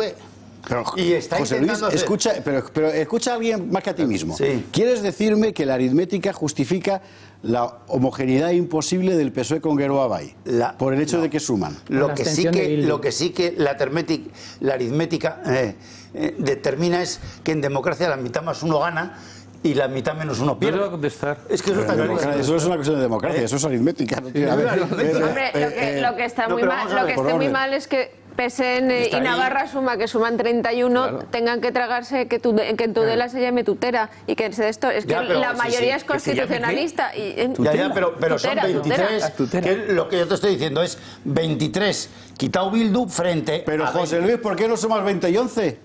Porque el PNV y el PSOE ¿Por qué el. PSOE es incapaz de pactar con UPN? Porque el PNV y con y Navarra el. PSOE van casi siempre juntos. Como corresponde a un partido hace- constitucional como el PSOE, José Luis 100 Balbás, ¿de años. verdad? O sea, en fin. Es que se Esta semana solo. No hace falta que Luca, Carlos... Pero vamos a ver, oye, Perdona, José Luis, Luque, que ha pedido la ¿cuántos palabra. años llevan en coalición en el País Vasco el PSOE? Perdona, José Luis, que ha pedido la palabra. El, José el José PSOE y el Luis, PNV. perdóname, que ha pedido la palabra Luca. Mira, quiero Claro. decir, es que en el encaje de todos los partidos y considerando Navarra que es, que también habrá que hablar de esto, ¿no? Quiere decir, ¿qué es Navarra para el nacionalismo Es vasco? que esa es la clave. Claro, quiere decir, es que tú estás jugando, digamos, mm, por así decir, a unos, a unos encajes, ni siquiera es un Frankenstein, esto es un super Frankenstein, ¿no? Quiere decir, es que hay, mira, entonces, eh, quiere decir, ¿cuál- ¿y dónde lo haces esto? Lo haces, pues, eh, en un, en un territorio que es central en la lógica de expansión, digamos, del nacionalismo vasco. Entonces, en Baleares, que es central para la lógica de expansión del nacionalismo catalán, hay adelante más eh, ¿no? Eh, políticas lingüísticas y demás, nuevas TV3, pero en, en, clan- en clave Baleares. Y aquí en Navarra, pues hace práctica, vas hacia lo mismo. Claro, es que luego, dentro de 10, 15 años, ¿qué va a pasar? Que de repente pues te das cuenta que en España el problema del nacionalismo es aún más grande y dirás, ah, ¿y esto de dónde viene? Pues mira, viene de eso. De la centralidad. Viene de eso, de porque en ese momento, después de lo que ocurrió en Cataluña, para la historia de España es un antes y un después. Y un partido, yo creo que responsable en ese momento, que sea de, de centro izquierdo, que sea de centro derecha, con estos colores, con estos números en Navarra, lo que tiene que hacer es un pacto nacional que es la suma de eh, los 20 más los 11. No, Los si no hace 11, yo estoy de acuerdo, que pero se abstenga, que está. lo que hizo el Oye, Sol de PSOE lo ha hecho vale. Hace muy poco con Miguel Sanz, que era el anterior, Claro. que vosotros Pues, ¿y por qué no lo hacéis ahora? Miguel, Miguel Sanz siempre fue aliado de quién? De Zapatero. Claro, votó hasta el claro, último pues lo día con Zapatero en el eso, no Congreso, un ¿eh? pacto. Los dos, Que se los dos. el PSOE. con Zapatero, conocías, con Salvador. Zapatero no, con el Y deje PSOE, con el PSOE. Con el PSOE. votada. Con el PSOE, Pero, con- claro. pero oye, No, pero- aguantar pero- el último año de Zapatero y votarle, vamos, yo es que no le voto ni. Pero ni- ¿sabes no lo que hace tan complicado el debate político en España? Que como la, la gente es presidente del gobierno o secretario del partido en función de las situaciones y, y tú votas contra el enemigo o con el enemigo en función de las situaciones, al final la retórica lo recubre todo con una capa tan densa que yo insisto en exiliarme en los ocho Groenlandia años con Zapatero. a partir del mes de agosto. Carlos Esteban. Yo soy más partidario de olvidarse de esa retórica y ver quién tiene cuántas fichas. Eso en primer lugar. En segundo lugar, o sea, y ni PNV ni tal. Lo que, está, lo que ha dicho Luca es, es, es algo mm, lisérgico para la situación que estamos viviendo ahora. Tienes todo el, todo, o sea, tiene todo el sentido del mundo lo que estás diciendo. Si se pensara, eso que dice, ¿qué va a pasar dentro de 10, 15 años? Te lo digo fácil. ¿Qué, qué problema tenemos ahora en Cataluña? ¿Qué problema tenemos en el País Vasco? ¿Cuántos, ¿Cuál era la opinión eh, en, en Cataluña, en partidaria de independencia, cuando empezó toda esta fiesta? El 20%. ¿Qué dices? Empezó, Sí, empezó con el o 4%. 15, el 4%. El 5, el 10, sí. Sí, una, 5 el 10. Sí, por debajo del 10%. ¿Cuánto están ahora? Más o menos la mitad y serán la mitad. In- in- in- Ineluctablemente por la cuestión de la educación, etcétera. Y de la inacción. Sí, Sí, esa sí, es sí, la- sí, de la inacción. sí, sí. ¿Eso qué significa? ¿Por qué ha llegado? Por lo mismo por lo que va a llegar esto, por lo mismo que les da exactamente igual que va a pasar dentro de 10, 15 años. Porque la democracia, una de las cosas que hace, tal como está planteada, es eh, que premia, lógicamente, la visión a, a corto plazo, a muy corto plazo. A mí lo que me interesa es lo que va a pasar estos cuatro años. Y eh, hacerlo de tal manera que quede bien para que me den otros más. Y lo- dentro de 10 años, ¿a mí qué me importa? En Navarra es jugar con el fuego. ¿eh? En Navarra. Pero es que llevan Sí, jugando, pero ¿cuánto fuego. tiempo llevan jugando? ¿Por, qué, por qué nos estamos quemando ahora? una línea roja. Navarra es, es hasta un poco más complejo porque es, eh, es constitucional por la disposición adicional, que es una cabronada que nos hicieron ahí y que, y que, y que- que la metieron y que se puede hacer legalmente. No, claro. Es que no es ilegal. que No, es que, es Es en una entrevista, en una entrevista, compleja, ¿eh? en una, en una entrevista, es ninguna. dice que en cuanto haya, Hombre, haya claro, una mayoría se votará. Lo que pasa es que ahora no hay mayoría, No hay mayoría pero que eso coña. se va construyendo. Y además, se va oye, construyendo, ¿tú qué efectivamente. conoces el PSOE? María Chivite, que además es una mujer de la Ribera. ¿eh? De la Que Ribera, no- sí, sí. Que no es nada de, ni de cosas raras. ¿Está de dónde procede el PSOE? Porque no me parece a mí que... eh, ¿De qué procedencia? Yo qué con jaez su tío, tiene? con, con su tío carnal, que fue el secretario general, es hermano de su padre, que era Carlos Chivite, que era el secretario general Porque todo queda en familia. del. PSOE de allí, el PSOE de allí, me parece que era Ci- Ci- Citruénigo o algo así. Sí, yo estuve allí. Citruénigo, sí, Pero eso era la huerta de. Bonito pueblo. de- del la sur, ¿no? sí, Eso, sí, sí. era la Ribera. Sí, sí, sí, está relativamente cerca de Javier y todo eso. No, no, publicábamos, este, publicábamos este fin de semana un reportaje en Crónica que uno de los de- del mundo sí. y, la gente era, quería a Navarra suma en el, en el esto, incluso en su pue- en lo- el- hasta Ha los chivites. por mayoría absoluta, ¿no? En el pueblo ese. En fin, Sí, sí. bueno, precisamente eso que estaba comentando antes Carlos Esteban y también Luca, por cierto, de lo de, eh, llamémosle visión de Estado, es decir, qué va a ser de esto que tenemos aquí dentro de 20 años, es lo que le echan en cara no solo eh, el dúo dinámico el otro día, González y Aznar, a la actual clase política, sino también, sino también una serie de eh, escritores, intelectuales, etcétera, identificados normalmente con la izquierda o con lo que en otro tiempo fue la izquierda en España, cuando había más vida inteligente en ese continente, con una carta o manifiesto en la que, eh, no sé si decir instaban o pedían, la verdad, pero bueno, a Pedro Sánchez que no pactara con separatistas. Tenemos un par de, ejemplos de lo que se decía en esa carta. Vamos a verlo. Nuestra Constitución merece ser defendida. Solo a través del acuerdo profundo y leal entre fuerzas constitucionales se podrá garantizar la formación de un gobierno que convoque nuestras mejores voluntades de convivencia e igualdad y defienda nuestro Estado de Derecho. Desde la izquierda apelamos a ese urgente y necesario acuerdo. Es interesante porque, que, eh, vamos a ver, el, el- alma de esta, de esta, de esta operación, o sea, el nombre más, de más peso ha sido Fernando Sabater. Y es un poco la opción, pero claro, el problema es que resulta, primero, eh, un poco, ¿cómo decir? Que esto tenía que haber pasado antes, que ahora ya estamos, por así decir, fuera, ¿verdad?, del- del- de la línea. Y por otro lado, es que la izquierda ya no les hace caso. lo que hoy se llama izquierda hace más caso a otro tipo de gente que asombrosamente recibe también el término intelectuales y artistas, con guion entre, entre la, la conjunción copulativa, que son los Bardem y compañía, que también han publicado su, su- carta, eh, por lo que ellos llaman un gobierno de progreso. Eh, veamos. No queremos a la extrema derecha cerca de los mandos del Estado. El entusiasmo generado tras las elecciones se está disipando. Los problemas de millones de personas no se detienen. Es urgente ponerse a trabajar ya por el país y sus gentes. ¿Por qué asumir el enorme riesgo y abrir la puerta a la extrema derecha? Instamos a PSOE y Unidas Podemos a que inicien de una vez por todas la negociación de este gobierno plural y progresista por el que votó la ciudadanía española en abril. El futuro de nuestra democracia nos lo exige. Junto al maniqueísmo de o conmigo o contra mí, otro rasgo eh, ¿cómo decir, eh, conceptual interesante que estamos viendo es el dotar a los colectivos de conciencia. Entonces, habla de la ciudadanía. La ciudadanía votó. Los Claro, los coges la parte de la ciudadanía que quieres, ¿verdad? Y es un, bueno, este último es lo que dicen estos, estos, estos otros, con el lenguaje, por cierto, también maniqueo, de, de, de Filber. Vamos a ver. eh, eh, nadie hace caso ya a nadie que escriba, ¿no? En política, quiero decir. Ningún político lee nada. A los Y intelectuales, mucho sí. menos a, a- a un intelectual español. Lo leen. ¿No? 20.000 ¿O tenéis algún conocimiento de algo? Hombre, El sí. papel del intelectual es... A los intelectuales se les hace caso. ¿Sí? Lo que pasa es que los leemos 5.000, 15.000, 20.000. No, no, pero me refiero a, los- a la, a la clase política. A la clase política, eso no lo lee nadie. Claro. Eso, eso- eso se llama propaganda. Quiero Eso decir que si va intelectual. redondo y eso, el tipo de Los políticos, intelectual que- Eso no son intelectual. Esos son propagandistas. Se llaman. Bueno, pero es que tampoco un intelectual te garantiza demasiadas cosas. Eso también es verdad. absolutamente. Y mucho menos un voto. Pero Y mucho menos un voto. intelectuales. ¿eh? Efectivamente. Ot- ot- otra cosa es que les leemos pocos. Pero vamos, los políticos y los cinco que tenemos, los líderes, ni te cuento. A mí me ha llamado la atención, todos. a mí me ha llamado la atención de, de- de- sobre todo la primera carta, la de Sabater, Robles, María Elvira Roca, Barea y compañía, el hecho de que, de que eh, eh, en cierto modo viene a ser manifestación de una impotencia absoluta, ¿no? Eh, hace no muchos años, Fernan- o Antonio Elorza, por ejemplo, escribió un artículo en El País y toda la izquierda se plegaba. Decía, ah, habló tal.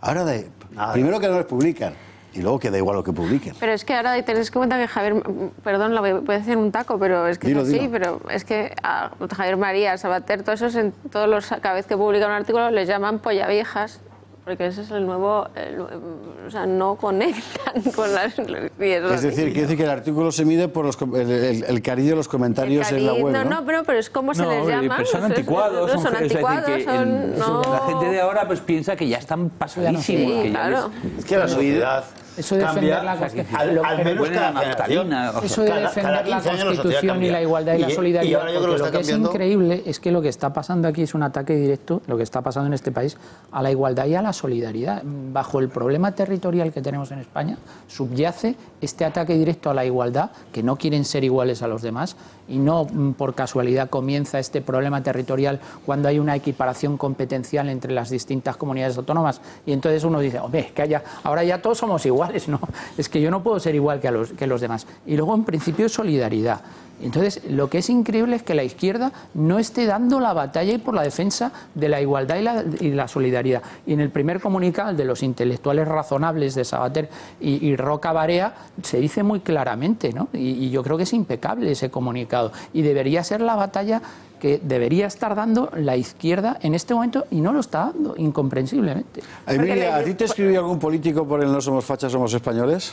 A mí sí, a mí no, pero yo, pues, yo con todos esos firmantes pues yo hablo y, y- y esto, pero yo lo que creo que pasa es que la izquierda ha abandonado, la izquierda está en el identitarismo, en la defensa, En la en, en- en- en- en enfren- en enfrentar Las tribus. 100 identidades diferentes contra el otro bando. Las minorías. Y eso, y eso- y eso es así. En realidad no te había preguntado eso.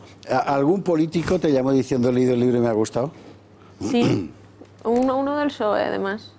Uno. Uno, no, uno del PSOE, bueno, me, me- me- eh, me llamó Vara. Me- bueno, es que ahora es el único que me acordaba, Vara. Me acuerdo. Ah, Fíjate, está bien. José Luis Vamos a ver, la- que nos vamos a lo que Andalucía. pasa es que en la, en, la, en la- en la sociedad actual política que estamos, estamos ya en, en una época que las, que las generaciones cambian muy rápidamente, ya 15 años ya es un, es un montón, ¿por qué?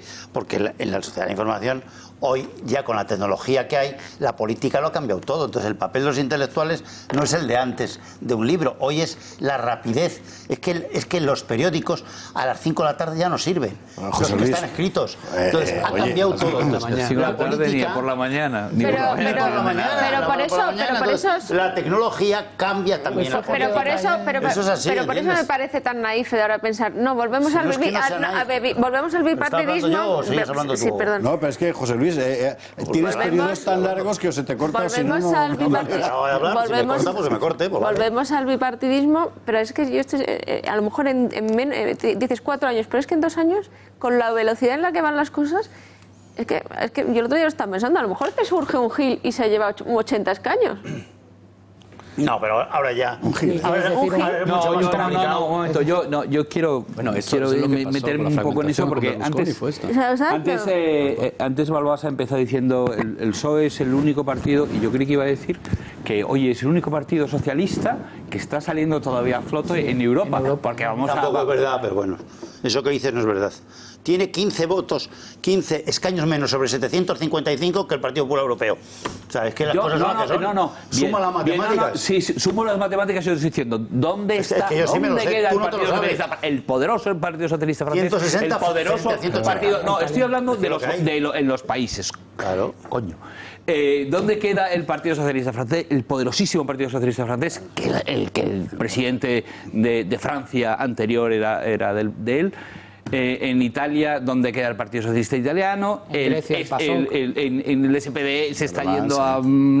Es decir, hay una crisis gordísima Sí, bueno. del socialismo El- el- en Europa. Entonces, entonces, cuando 21%. tú hablas de que se va a estar Pero no te lo afianzando, inventes, tiene el que es que 21. le estoy hablando yo ahora, eh, Balbás, ¿qué pasa? O sea, decir, de le Sí, no. y entonces te ha parecido mal, ¿verdad? Pues en favor no me interrumpas a mí. Claro. Vale, entonces, eh, eso que ese bipartidismo puede irse también a freír puñetas por esa misma razón, porque hay cambios subyacentes muy poderosos en todo Occidente y en toda Europa sobre todo. O sea, que, y que no van precisamente en línea de, mantener los partidos socialistas. Bueno, vámonos a Andalucía. ¿Por qué? Porque hay presupuestos ya en Andalucía. Y es importantísimo. Eh, yo tengo para mí que desde que estamos en el Estado de las Autonomías, cada región se ha convertido para nosotros como en Portugal. Sea, una cosa que está ahí al lado y que eh, nos da lo mismo. Pero esto sigue siendo un país. Y en Andalucía lo que ha ocurrido es importantísimo. Es la primera experiencia de gobierno real del tripartito del centro derecha y se ha aprobado ya un presupuesto que es el primer presupuesto post-PSOE. E. Es enormemente importante y María Matos nos lo va a contar. Buenas noches. Pues sí, como dices, son unos presupuestos históricos, ya que son los primeros no socialistas de la comunidad andaluza. Es la primera vez que hay unas cuentas de derechas que han salido adelante gracias a los votos del Partido Popular, de Ciudadanos y de Vox. Y gracias justamente a este partido se, ha podido, se han podido aprobar, porque Vox, aunque no esté en el gobierno, exigía una serie de medidas que si no se cumplían amenazaban con vetar esos presupuestos. ¿Cómo se han desbloqueado? Pues se las han aceptado esas medidas.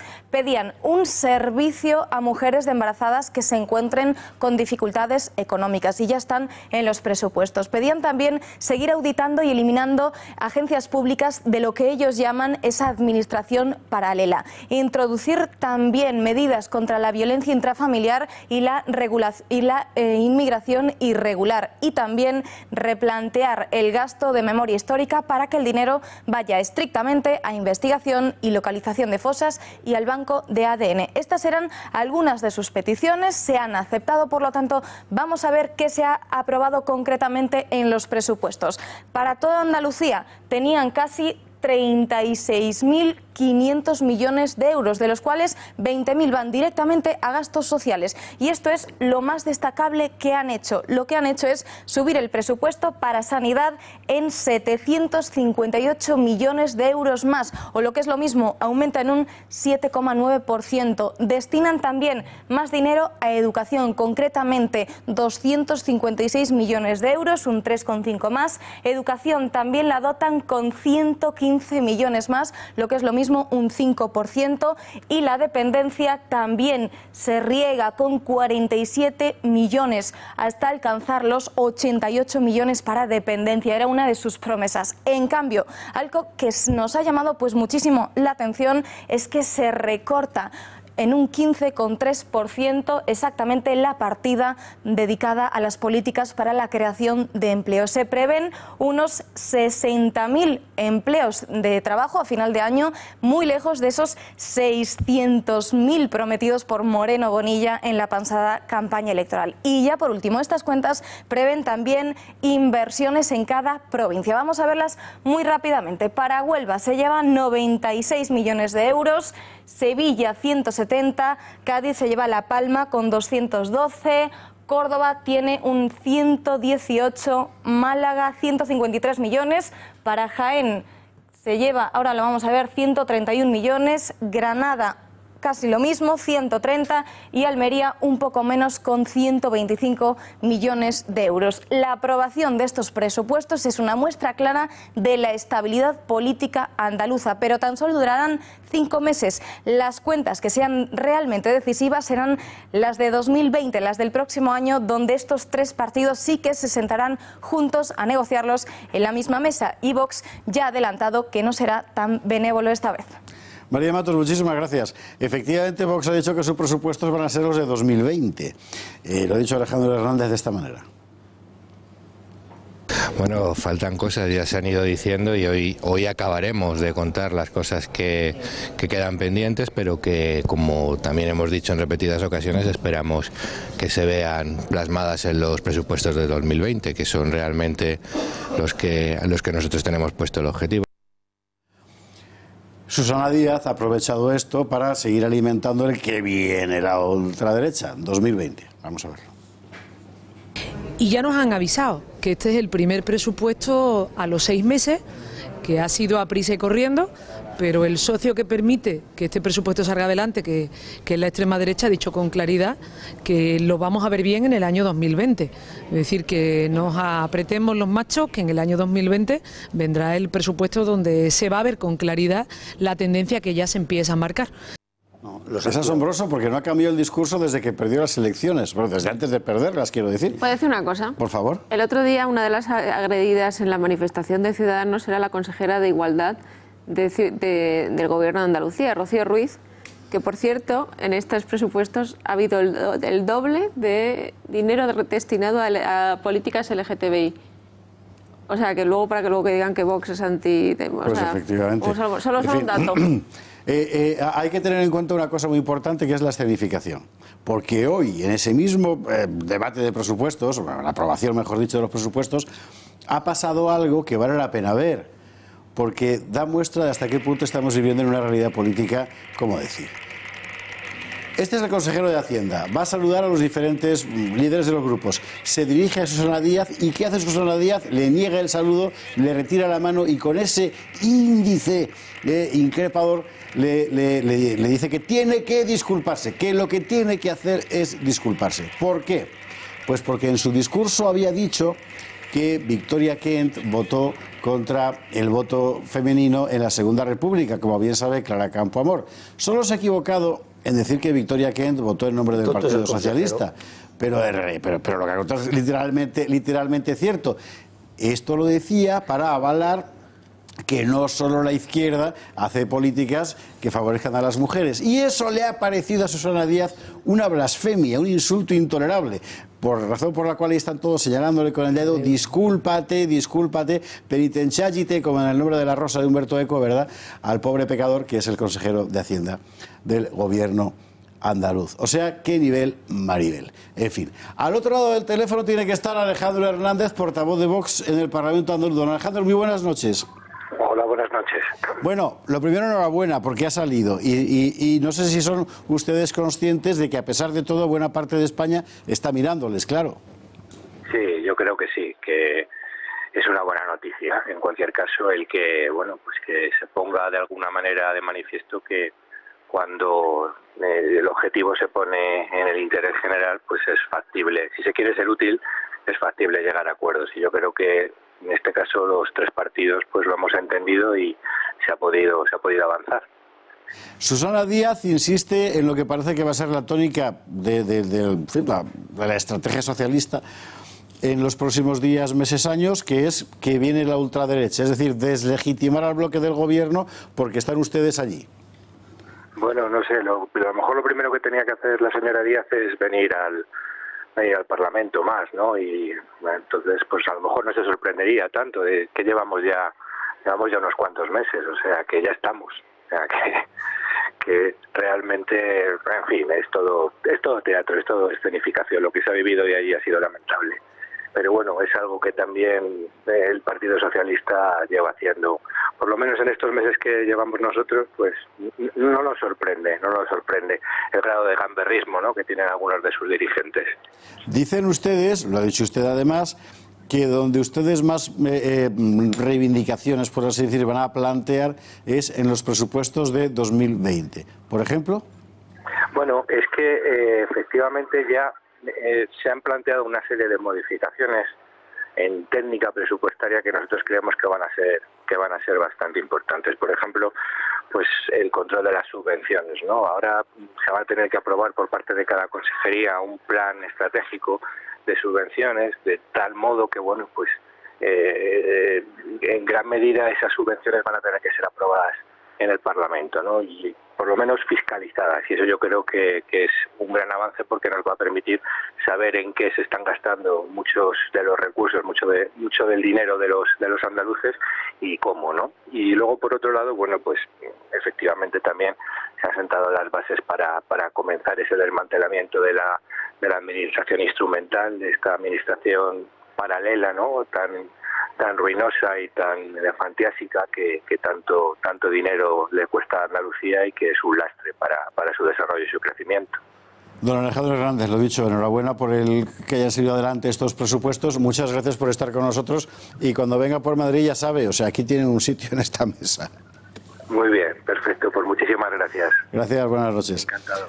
Bueno, ya hay presupuestos de eh, un tripartito, un trifachito, como decís vosotros, y aquí no se ha caído el mundo ni nada. Ha sido un éxito total, yo creo que es el mayor éxito de Vox son Madrid y Andalucía, porque ha sido el que ha generado el movimiento social tanto en Andalucía como en Madrid para que ganara, eh, para que se moviera el Ayuntamiento de Madrid, que nos sobraba la mano de la Carmen aquí en Madrid, porque lo estaba haciendo muy mal económicamente, aunque políticamente pues era digerible como, como se ha visto, ¿no? Pero en Andalucía, que llevaban ya allí, y se sabe los años, con los casos de corrupción Ahora cuando la habido, se me quedaba así un ya poco la tío. gente estaba hartito. No obstante, el resultado de Andalucía es que es muy fuerte, es que tiene ha, sido 58 a 48 la votación.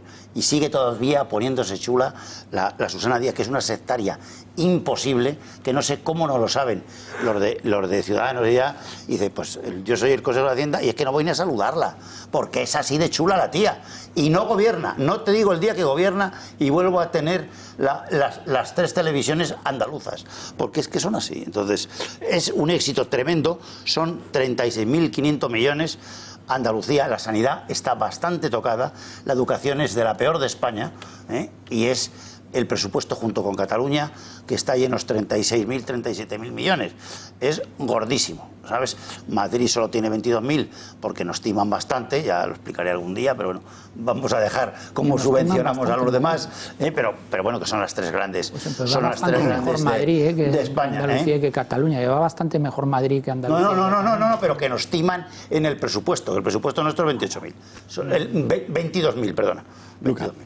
Cuando lleguemos, ¿eh? que este año estamos en 20.500. A lo mejor es que hay más ahorro de gasto público. Mucho más ahorro, mucho más ahorro, mucho más eficiencia, mucho menos, mucho menos grasa por todos los sitios. Es que, es que esos dos, termino, esas dos comunidades están súper engrasadas. Deben tener como un 20% de grasa. Es decir, que de 37.000, 7.000 son grasa. Y en Cataluña lo mismo, un poco más, 8.000.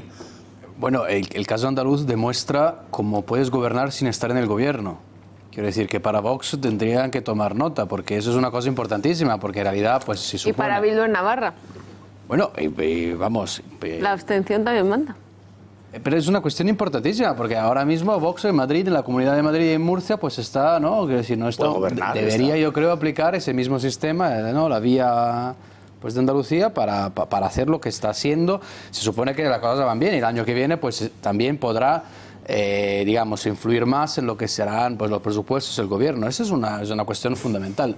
Habrá que ver si Vox tiene una estrategia sobre esto o si... Es, es, es, es efectivamente la gran cuestión. Si Vox tiene una estrategia sobre esto o, por así decir, de- delega las estrategias locales. Antonio.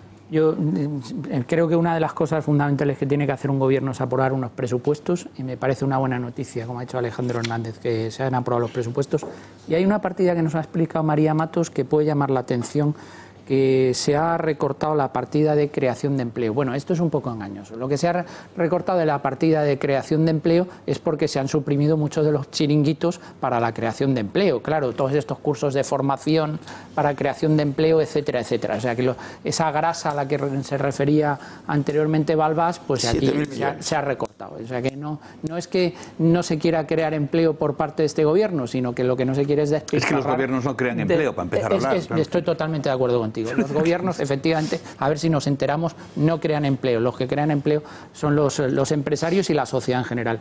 Y lo que se ha hecho aquí es intentar pues, recortar todo este gasto superfluo que no va a ningún sitio porque, efectivamente, vuelvo, a insistir y estoy de acuerdo contigo, Carlos, los gobiernos no crean empleo. Hablaba antes Balbás del sectarismo de Susana Díaz. Bueno, eh, ese sectarismo que pues, nada más que escucharla para, para verlo. Eh, En realidad no es una cosa inédita, es decir, eh, está muy extendido y en particular con el asunto de Vox. Y esto es algo que hay que contar porque no se trata de que uno esté de acuerdo o desacuerdo, se puede estar en desacuerdo con Vox en mil cosas, empezando por la política autonómica, qué sé yo, en fin, como con cualquier otro partido. Pero claro, cuando conviertes a alguien en el demonio, lo lógico es que la gente le quiera pegar. Y eso es lo que está pasando. Vamos a ver algunas imágenes. Ayer veíamos a Javier Ortega Smith haciendo de bombero, porque les habían, creo que tenemos las imágenes, ¿verdad? Eh, haciendo, de- eh, que le habían quemado un contenedor en la puerta de la sede. Y, y otro un poquito, un poquito más abajo. Esto no es ninguna broma. Esto no es ninguna broma. No, no Al mismo tiempo ha habido en redes ataques personales muy serios contra hijos de un líder de Vox, como es el caso de Víctor Sánchez del Real. Creo que vamos a poder verlos enseguida también. Tenemos los tweets, ¿verdad? Mis datos son públicos, soy muy transparente, extremadamente. Pero al que se le ocurra dar un solo dato sobre mi familia, iré contra ellos con todo el peso de la ley. Que quede muy claro. Eso de sabemos dónde vives es muy viejo y conmigo no valen las amenazas. Que quede claro. Lo avisé hace unos días a quienes andan dando datos impunemente sobre mi domicilio y familia por ser facha. Hoy han atacado objetos. Seguimos con la ley, pero como ataquen personas que estén preparados. Gracias. Fin del día. Algunos la habéis tomado ya con uno de mis hijos. El muchacho ha quedado advertido. Seguridad ante todo, pero la primera, que la suelte él. 1,95 de músculo. Advierto. Y como esté yo delante, 105 kilos y 49 años de mala leche. Y en los que habéis señalado a mi familia, denuncia. O sea, esto no es un debate político, evidentemente. Pero cuando no le amenazan en lo personal, la respuesta de este carácter, por lo menos es comprensible. Hay más, hay más, porque hoy hemos conocido el caso de Patricia Muñoz en Sabadell, en cuyo domicilio han aparecido pintadas de este, de este carácter. Fuera fascistas. Pero yo no entiendo, de es decir, no- en serio no entiendo cómo podemos seguir manteniendo el, el discurso absurdo de los extremistas cuando los que están siendo extremistas es con ellos. Es decir, ¿qué quieren? ¿Están, ¿Quieren cargarse la democracia? ¿Qué, qué, qué tiene en la cabeza una persona para amenazar al hijo de un político? O sea, mm, ya está, así te callamos. Y entonces ya no, esta opción ya no lo hace. Eso es lo que se quiere, no, no lo puedo entender. O sea, esa gente es realmente lo que no son fascistas, son lo que se simboliza con la palabra fascistas. Es exactamente eso, es callar al oponente mediante la violencia y la coacción. Y, y al final, al único que se le está llamando eh, facha y extremo es a Vox, que es el que está sufriendo de estos ataques. Que me lo expliquen. Y que no ha, hecho- no ha tenido ni un solo comportamiento ni fascista. Bueno, primero, los que llaman fascistas no saben lo que es el fascismo. Bueno, ya, pero, Pero, pero, pero, pero, pero de nuevo volvemos que ahora están llamando todo el mundo que la- todo el mundo le llaman fascista. Sí, por eso estoy hablando- de lo que era. Se ha devaluado bastante el término. Pero luego es que es lo que estamos comentando. Los que están atacando a Vox, esto es como si te pegan una paliza y encima el que te ha pegado la paliza dice, no, es que me han pegado. Oiga, pero mire usted, Es que Vox no ha tenido ni un solo comportamiento antidemocrático. Más bien al contrario. Es un partido que se ha caracterizado por la defensa militante de la democracia española. Y por lo tanto me parece alucinante los que son intolerantes. Está teniendo que soportar todo tipo de ataques, todo tipo de acusaciones, mm, ya meterse en la vida personal. Hombre, yo conozco a Víctor Sánchez de la Cruz y le puedo Real. asegurar, Víctor Sánchez del Real, por favor, perdón. Y le puedo asegurar que como esté el delante, va a ser difícil que, que alguien, que alguien pueda meterse con Víctor Sánchez del Real. Pero, pero, pero no, no hay que llegar hasta, hasta este extremo, de verdad, que es que es una situación Hoy estamos a 18 de julio de 2019. Esto nos recuerda a situaciones pre-18 de julio de 1936, de verdad. Y, y no precisamente por, por parte de Vox. Esto es muy serio. Lo que, el ataque que ha sufrido la sede de Vox y que ha sufrido constantemente. Les han roto los cristales. Ayer el incendio este. Nadie puede decir que, que puede ser demócrata quien hace este tipo de cosas y luego encima decirles a los demás que son antidemócratas. Es un fenómeno de histerización de la Totalmente. vida política, que no se vive solo en España, por cierto, pero es verdad, No, porque bueno, en Francia No, esto no, es no, no, cotidiano. En Francia, en Estados Unidos, los antifas, es tremendo, tremendo como están, dando palizas a, a- a periodistas. No estamos hablando de fachas, porque ahí prácticamente no, o sea, ninguno hay un grupo. y- decir, que a los, a los trumpistas, por, por supuesto, pero incluso a los más moderados, como es un periodista chino, por cierto, y homosexual, que le dieron una paliza a los, los antifa porque fue a, a informar y, y se les disculpa desde el Partido Demócrata. Estamos en un momento muy bronco de, de la vida política, en el que les están como quitando las caretas y dejándose de sutilezas para el reparto del poder. Sí, pero también muy frívolo, ¿eh? quiero decir, eh, es bronco todo, ¿eh? pero también hay una frivolidad increíble en todo, quiero decir, que realmente no, muchas veces son cuatro gamberros, ahora tampoco quiero decir, pero... Sí, por eso, por eso digo, ¿qué gana un partido tan serio como es el Partido Demócrata? ¿Qué gana eh, con ese tipo que- de cosas? Es decir, vamos a que el condenar cordón- totalmente la Pero es violencia. que el término cordón sanitario tú lo puedes aplicar a quien aplica violencia, quiero decir, a quien ejerce algún tipo de violencia, que puede ser incluso verbal, ojo, quiero decir, que no es solo física. Pero claro, es que si tú empleas el término cordón sanitario con un contrincante político, pues claro, tú desvirtúas el concepto del cordón sanitario, que ya es una palabra, No, digamos, un está- concepto está llamando de paria, Ta- también yo, creo, yo también creo que la gente está exagera un poco con las redes sociales y las redes sociales están para que te insulten. Pues No, si no, no, no que redes de- sociales Ah, te- si es que yo no estoy hablando de No, redes no, no, sociales. pero te digo en muchos casos que, que, que, que en estas cosas son graves, pero es que la gente habla de, de, no es que me han insultado en las redes sociales y sufro acoso. No, Una eso cosa no, es cuando no. te, te- eso- eso es pero, sí, pero pero yo estoy te digo que se frivoliza mucho con una eso. paliza, por ejemplo, en, en Estados Unidos y los demócratas se niegan a condenarlo. Una cosa tan sencilla. Bueno, sí, aquí. Marlaska se ha negado de, de facto a condenar una agresión a un colectivo en la vía pública secuestrado durante dos horas. Pero colectivo desde el jefe de la policía se ha negado a Luca, condenar Luca, pero yo no, para echar no- de comer no me gusta hablar en de fin. colectivos. Eran unas personas, ¿no? porque cuando empezamos No, a hablar de de colectivos personas, ya sí, estamos, no, vale. eh, ya estamos Colectivo en el sentido que no era una persona. En, un- en una, en, una, en una ¿no? marcha que la que mete el, el ayuntamiento de todos los madrileños dos millones de euros y a la que la, bueno más de la mitad de los madrileños no estaban invitados. Pero por eso, Luca, no, No, son gamberros. No son- dice Luca, Mucho, son cuatro más. gamberros y hay No, frivolidad. No, es que un día te pasa eso en el orgullo gay. Es que otro día son las sedes de Vox. Otros días han sido en Cataluña las sedes de Ciudadanos o de el Partido Popular. Yo creo que hay un caldo de cultivo que está fomentando este tipo de actuaciones. Más allá de que sean tres o cuatro gamberros puntualmente que puedan hacer una trastada. No, yo creo que hay detrás un, un caldeamiento político que es el que lleva a este tipo de situaciones. José Luis, rubrica que nos vamos al No, tema yo de creo los que bebés robados. La, la utilización de la, de, la, de la estigmatización del otro para dejarle, digamos, en minoría frente a una mayoría plural, es, Es la utiliza viejo. todo el mundo. Es muy viejo, pero también lo utiliza Trump. Eh, fíjate con el rollo de las cuatro diputadas, que ha sido racismo lo que el tío ha hecho. O sea, una No, no ha sido racismo Ha sido- en bueno, yo, absoluto. yo opino que ha sido racismo. Lo, lo No, ha sido otro racismo que no importa Trump. Va- vamos a lo de Vox en España. Eh, en España, eh, ideológicamente, digan lo que digan, fascismo como tal ha habido poquito ideológicamente, porque el franquismo era una dictadura militar, puramente, que ideológicamente no tenía nada.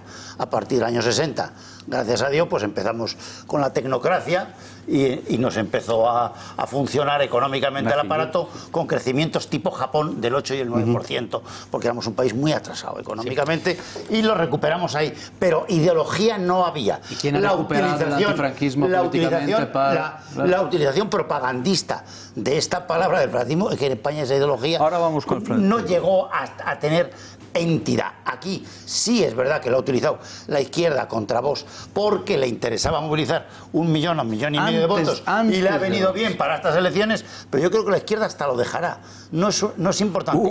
Ha hecho mucho más daño, ha hecho mucho más daño la estigmatización de Vox por parte de Ciudadanos que por la izquierda. Porque la izquierda ya va de suá, ¿sabes lo que digo? Que ya, Sí, ya va de suá. Pues yo no sé si va de suá. lo suyo, Yo también ¿tienen estoy de ahí? acuerdo con eso. Va de suá o va de Luis, pero el no, hecho sí, que sí, es que esa estigmatización de la que habla José Luis en realidad ha sido generalizada. ¿Por qué? Bueno, pues porque había que culpabilizar a una parte de la sociedad y expulsarla de la vida, de la vida pública. Para lo cual se han construido relatos y uno de esos relatos ha sido el de los bebés robados. Uno entre otros. De repente alguien cuenta, coge un caso real, dos casos reales, cuatro casos reales y construye una historia. Esa historia se judicializa, se politiza, aparece por medio de Garzón, la memoria histórica y el relato es. El franquismo robaba hijos de los pobres para dárselos a los ricos. ¿Y las monjas? El franquismo Y las monjas, no, Hasta relato es- 300.000 casos. ¿Qué está pasando ahora? Pues eso lo ve usted. Ahora lo que está pasando es que los investigadores de aquello dicen, no, no era verdad. ¿Y quién le está contando a usted que no era verdad? A la vuelta de la publicidad se lo contamos.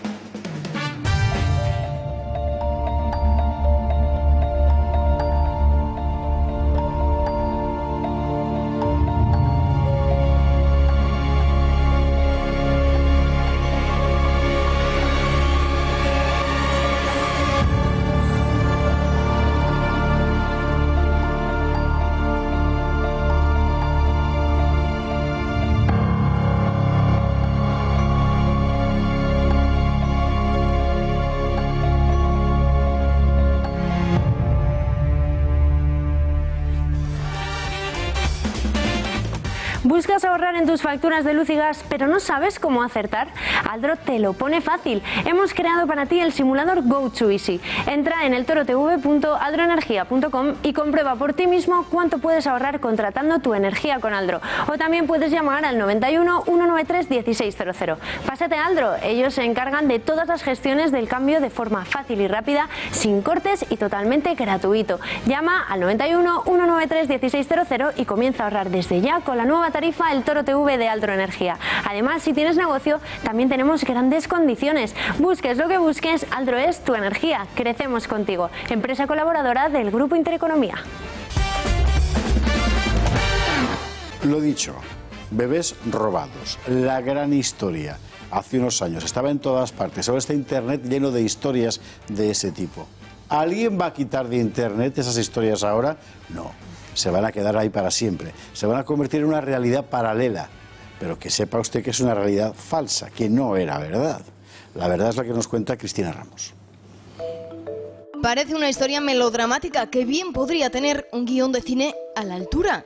Una madre cualquiera da a luz durante el franquismo, pero el parto se complica y el bebé muere.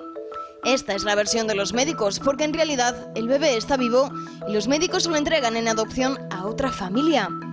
Un caso que no ocurrió ni una, ni dos, ni tres, ni tres mil, sino trescientas mil veces según las asociaciones denunciantes. Pero, ¿realmente esto es así?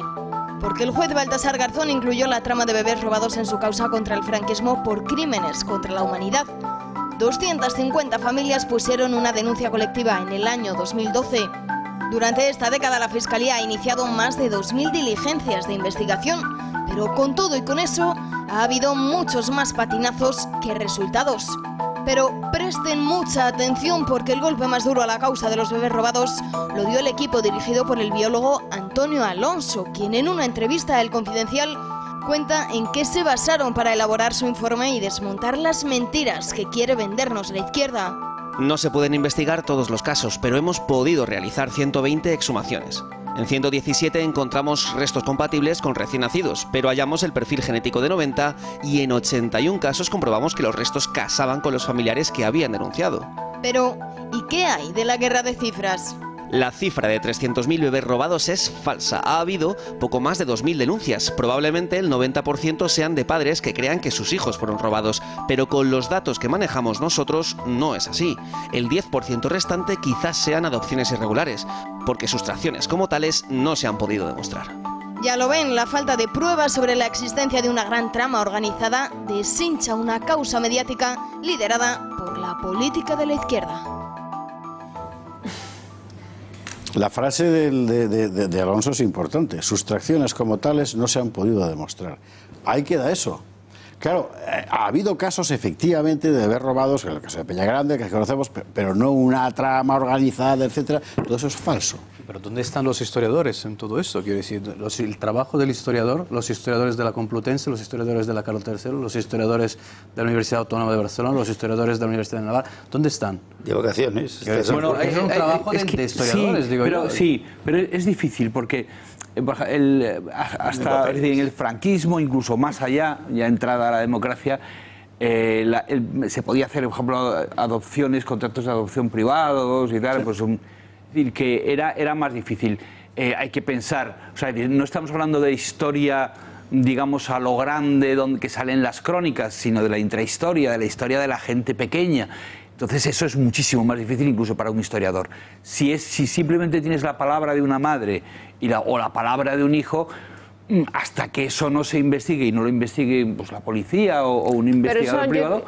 Es decir, tú, tú piensas, por ejemplo, una, una mujer que efectivamente estaba en el, bar- en el bando republicano o simplemente era pobre y que le dicen que su hijo ha muerto es fácil psicológicamente que prefieras pensar que tu hijo no ha muerto, sino que imaginarte toda esta trama. En realidad se lo han dado a otro y tal, no sé cuántos. Ahora lo que han hecho es sencillamente, si han podido localizar dónde estaba enterrado el, el recién nacido, mm, es comparar el ADN y decir, lo siento, pero el muerto es su hijo. Eh, por otro lado, eh, personas mm, ya mayores que saben que se han- le han adoptado y prefieren pensar que, mm, que hubo malas artes porque no quieren No pensar que su madre. tal, exacto, prefieren pe- no pensar que sus madres los dejaron, les, les dieron en adopción estando viva. Entonces, este tema está muy complicado eh, por Porque es muy emocional, Exacto, es muy emocional, claro. Bueno, pero- pero a la vez es muy bonito eh, para presentar el horror de lo que era el franquismo, porque encima además metes monjas y todo, es muy, ingredientes. todo es muy siniestro, ¿no? Robar niños, puede haber algo más terrible. Hombre, Es lo nadie, que se acusaban nadie los niega, duendes, nadie ¿no? de niega robar que niños. seguramente algún niño de manera privada, igual que también se gestan, se hacen vientres de alquiler de manera privada y subrepticia en todos los lugares del mundo, pues seguramente se, se- se habrían hecho. Pero de momento, los únicos niños que se, han, que se han robado públicamente en España los han robado una asociación de Podemos que se llama Infancia Robada, que se los ha sustraído sus padres.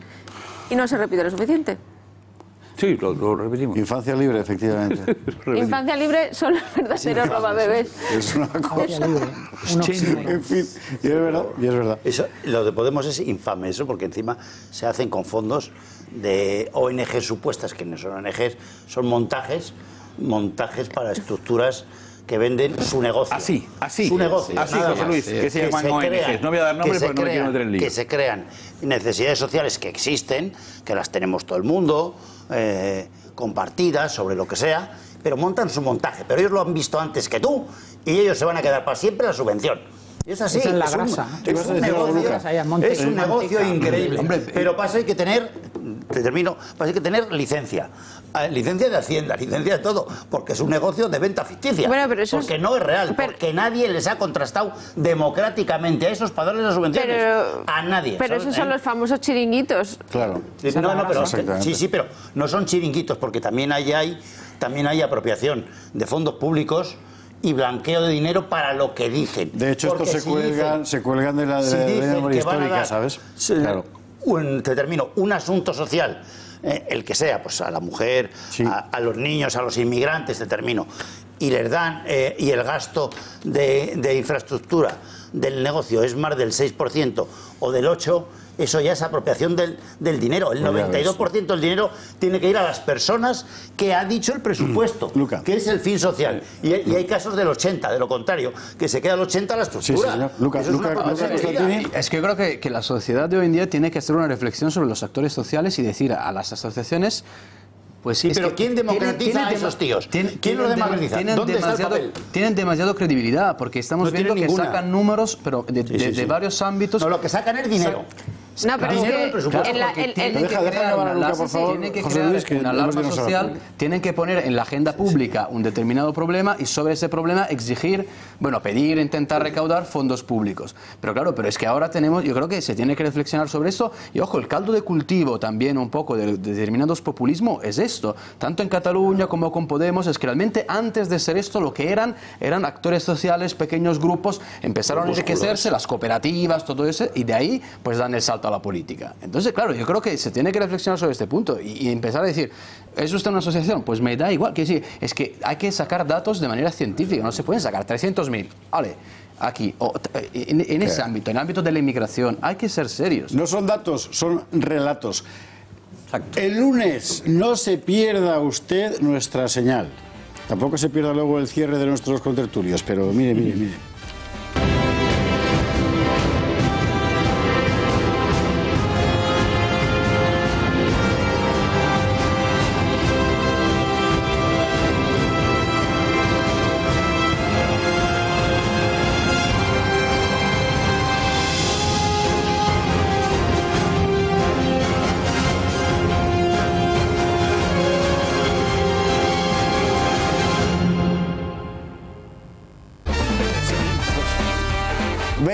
...23 horas 58 minutos, 20 segundos para cada uno de nuestros contertulios para escribir la contraportada del gato al agua. Última reflexión, breve, José Luis Babas, breve, Luca Costantini.